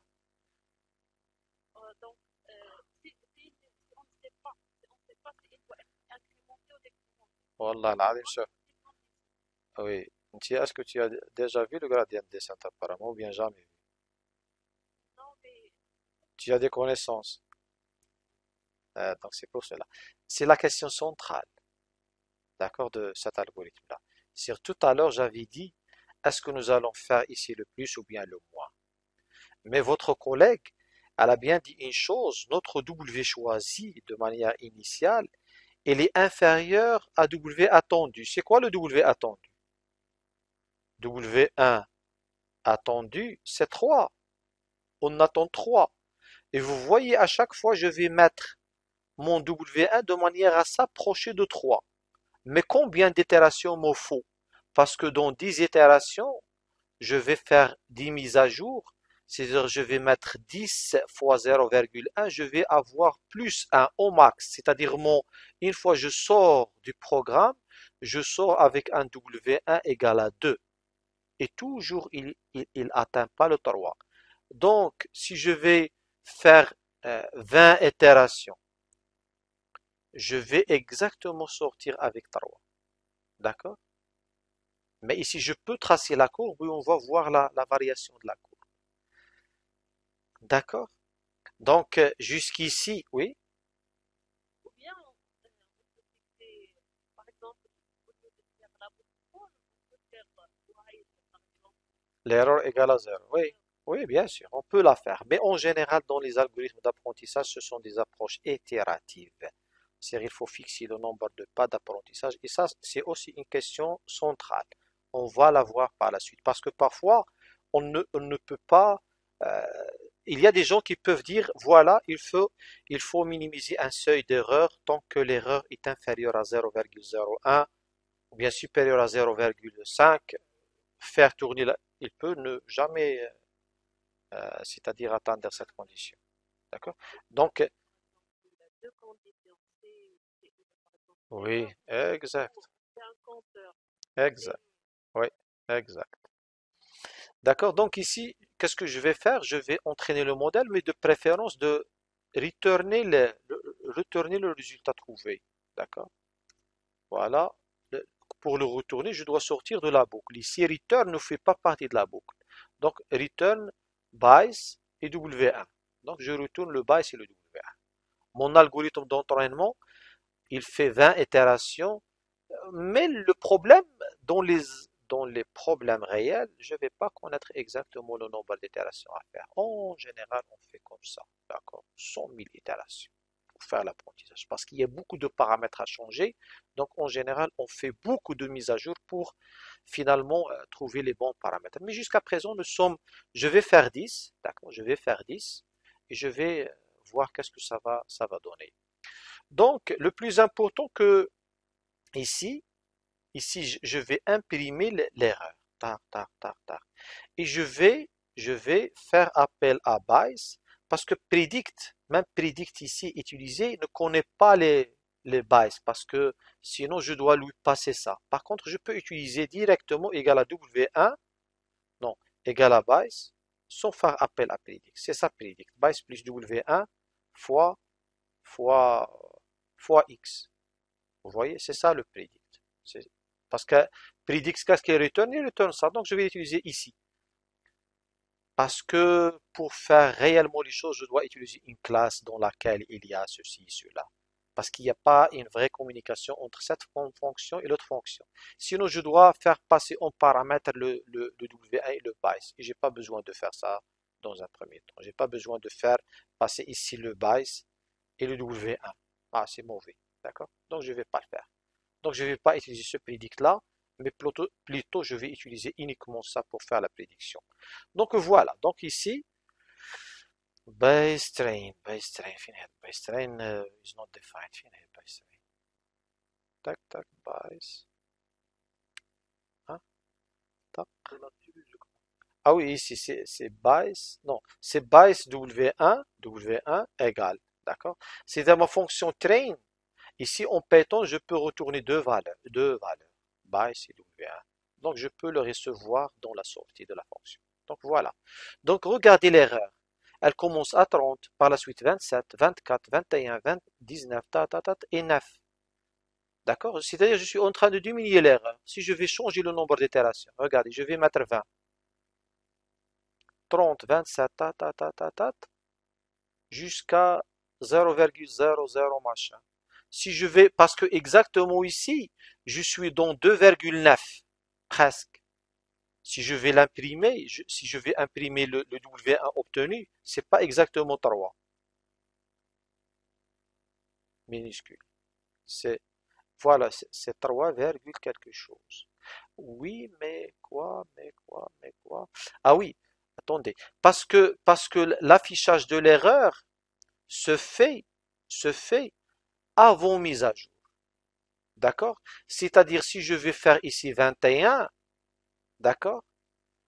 Euh, Si je vais faire 21, il va afficher l'erreur 0, mais il va retourner 3,1. D'accord?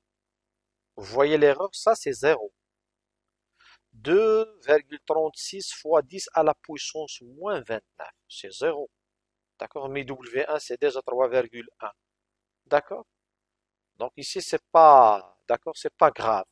Parce qu'on affiche l'erreur et on, on fait la mise à jour par la suite. Sinon, on fait la mise à jour et on affiche l'erreur. Mais en général, on fait ça. Donc, est-ce que vous avez compris ici?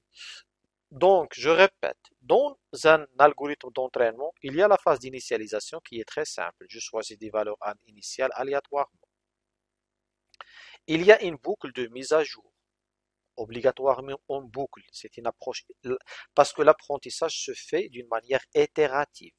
Donc, je fixe le nombre de mises à jour, à faire. Je Finalement, le n je peux le mettre à l'extérieur parce que toujours il va avoir le même valeur. C'est pas la peine de le recalculer à chaque fois. D'accord?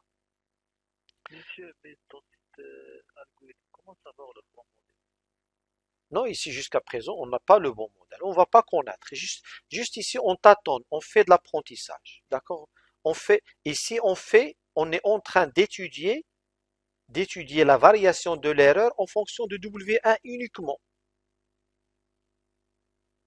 D'accord? Mais c'est en même temps, c'est le même algorithme que nous allons l'utiliser pour faire l'apprentissage. Parce qu'il qu'il trouve le, le bas et le W1. Pour les, les, trouver, tu vas dire, voilà, ta, ta, donc je vais prendre ça. Alors, regarde.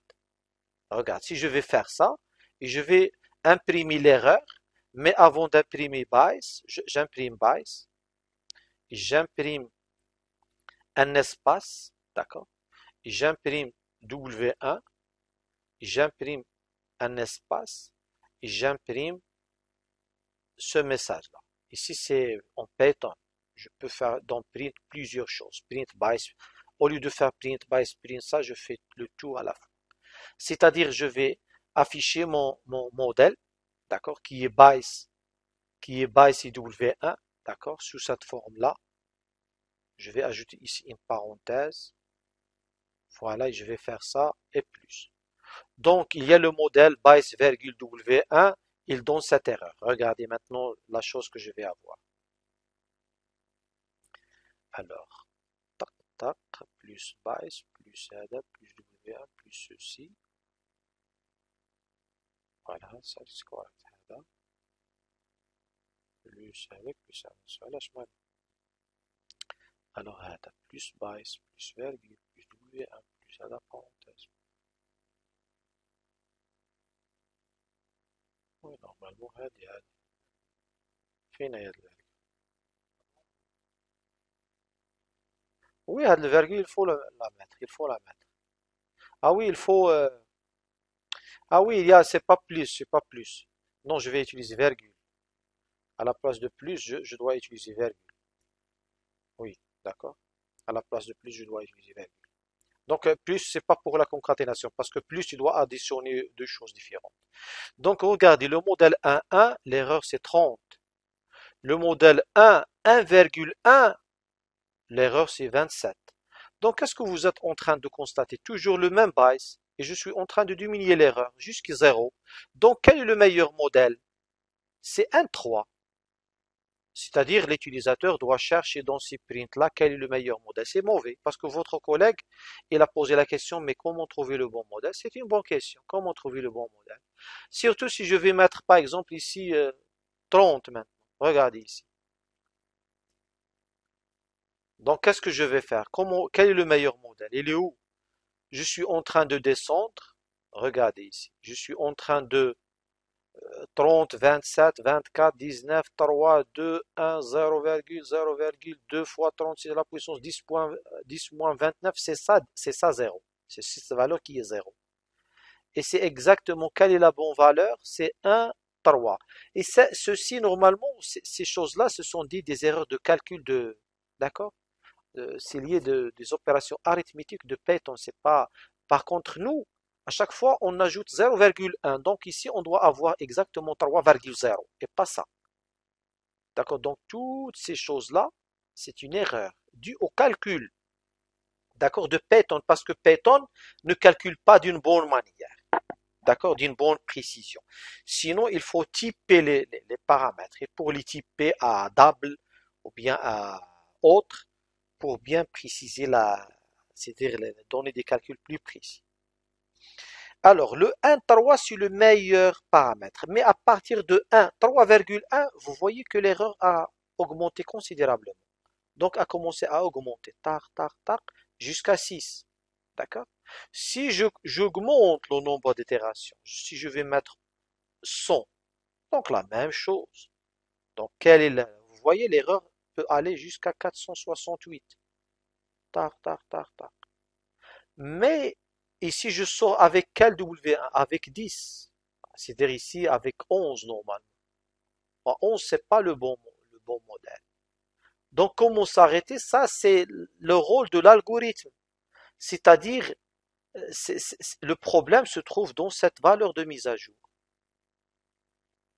Le problème se trouve dans cette formulation de mise à jour. Donc ici, problème, problème, problème de mise à jour.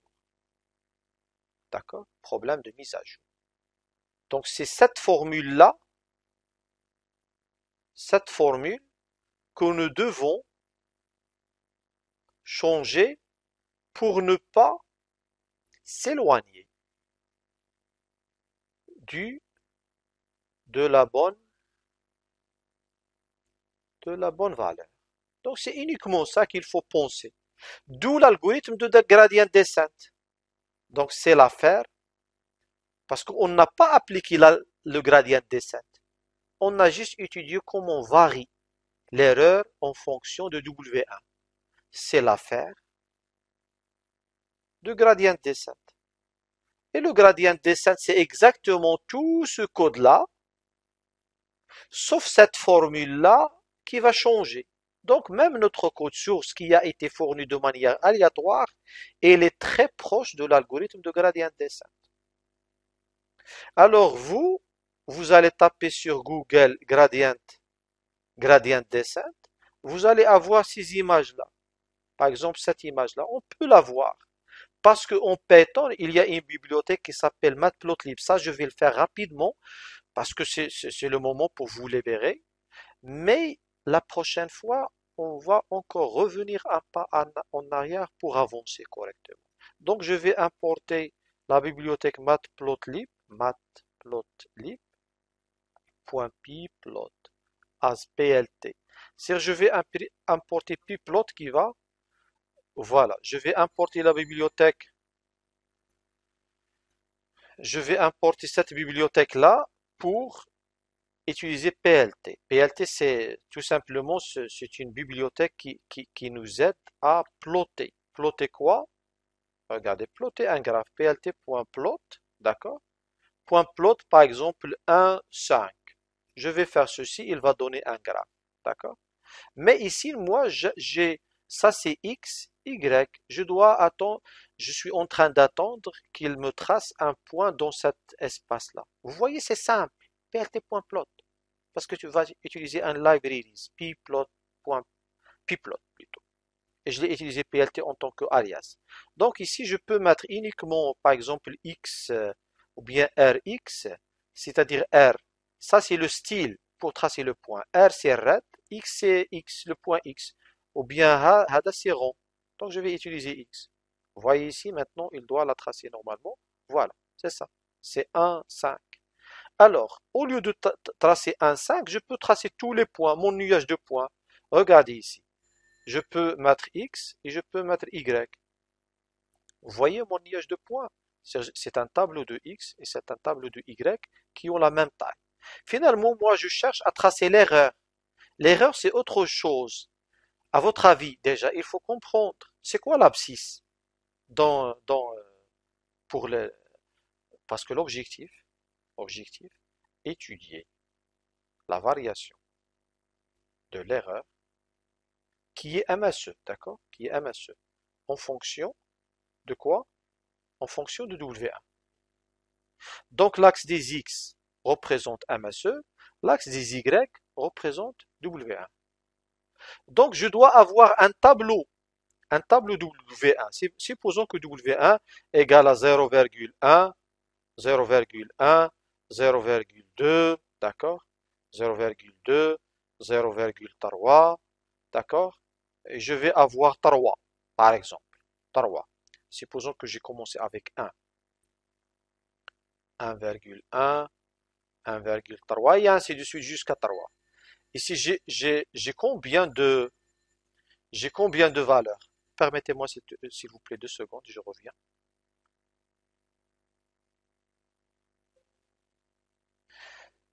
Alors, nous sommes en train de dire que ici, euh, on a un tableau de W1, de valeur de W1. Je vérifie est-ce que vous m'entendez? Vous m'entendez, c'est D'accord. Donc, on a un tableau de W1 que je peux appeler W1 list et j'ai une MSE list. Ici, je peux faire n'importe quelle valeur, mais en réalité, nous allons utiliser ces valeurs-là. D'accord? Alors, je peux dire l'erreur a commencé grande, d'accord Par la suite, elle a, comment, elle se diminuer, d'accord 5, 2,1 et je dois avoir exactement le même nombre de valeurs. 1, 2, 3, 4. Et ici, j'ai 1, 2, 3, 4. Donc, c'est exact. Alors, comment tracer la, courbe? C'est plt.plot, tout simplement w1 list, d'accord Et mse list, c'est-à-dire je vais tracer la courbe de cette manière-là.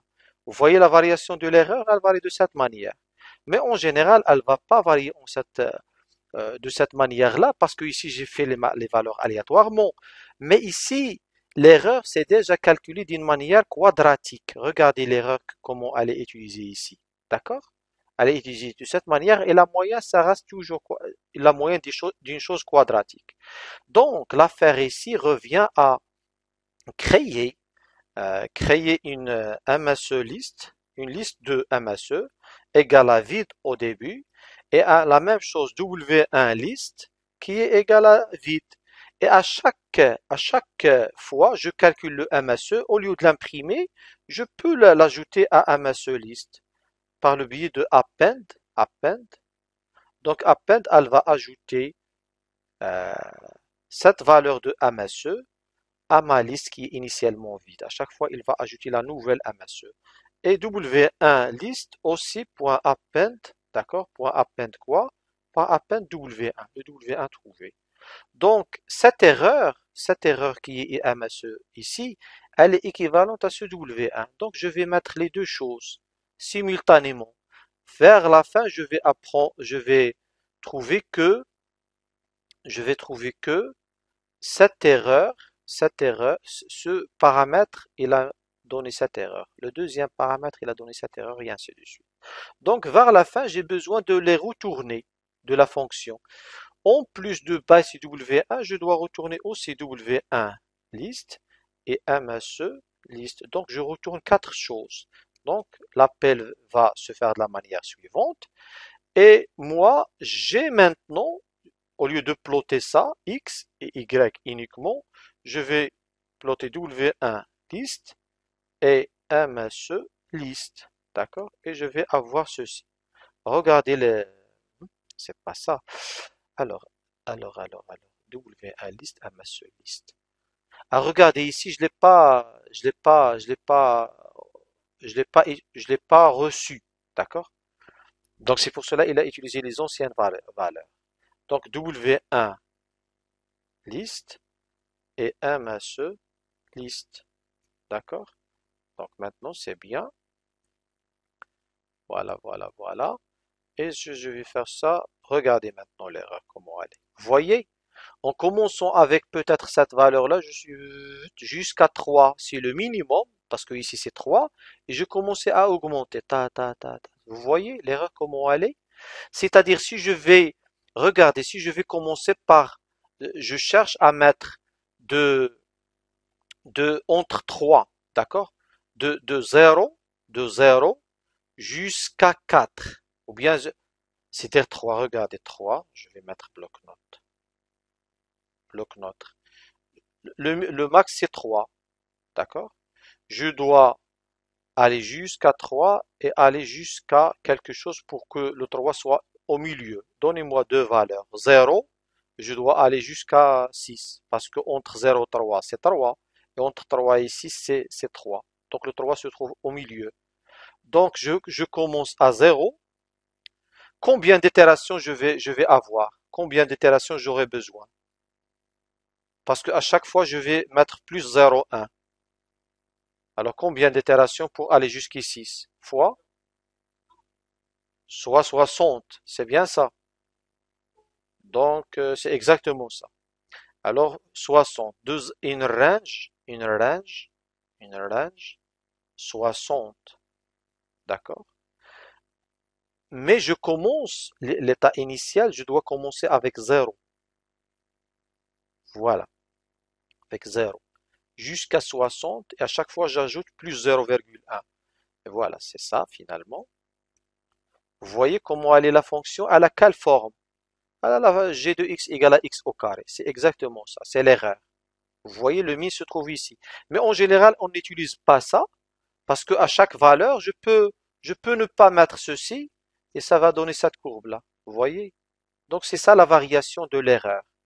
La prochaine fois, c'est sur la base de cette courbe, parce que c'est une étude de fonction de g de x égale à x au carré qui est très simple, calculer la dérivée et comment utiliser la dérivée pour minimiser l'erreur, pour connaître surtout le signe de la dérivée, dérivée négative, dérivée positive, pour savoir est-ce que je vais mettre en place un plus ou bien un moins, parce que votre collègue elle a déjà signalé, comme quoi, pourquoi mettre ici le plus, et si jamais le signe c'est-à-dire si jamais, si jamais le, W, le W se trouve, le W initial c'est 6. Donc je dois aller vers cette droite-là, vers, vers ce côté-là. Regardez, maintenant je vais changer le W1 initial à, à 5. Il va jamais avoir cette forme-là. Il va toujours augmenter. D'accord? Donc c'est pour cela, il faut déjà comprendre graphiquement comment les choses fonctionnent. D'accord? Et par regarder, si à partir de 5, je ne cesse pas à augmenter l'erreur. Donc je ne vais pas connaître. Pourquoi? Parce que il faut aller, la mise à jour se fait toujours vers la, le, W1, il est toujours euh, en train de s'augmenter. 5,01, 5,02, 5,03, 10, 11. Et toujours l'erreur, elle est en train d'augmenter. Pour la diminuer, il faut aller vers la, la gauche. Mais comment connaître que, que l'algorithme, que, que la mise à jour doit aller vers la gauche? C'est-à-dire, c'est une affaire de, est-ce que je vais mettre plus ou bien moins? C'est-à-dire, il s'agit de, de dw et le dw normalement doit se calculer en fonction d'une dérivée. D'accord? D'une dérivée, d'accord? De la fonction coût, d'accord? Et à ce moment-là, je vais connaître le signe et je vais savoir est-ce que je vais utiliser le plus ou bien le moins. Donc ça, on va le, le, mettre la, la séance prochaine, Inch'Allah. Donc euh, voilà, j'espère que cette première séance, vous avez compris qu'est-ce que ça veut dire l'apprentissage, comment euh, ça se fait, euh, qu'est-ce que ça veut dire les paramètres d'un modèle, comment faire la prédiction, c'est quoi l'erreur, comment tracer l'erreur, et ainsi de suite. Donc je vous invite à revoir cette vidéo une fois la, la et éventuellement si vous avez des questions, il faut les poser la prochaine, ou bien maintenant si vous voulez, la prochaine séance, ou bien maintenant. D'accord? Voilà, la séance touche à sa fin.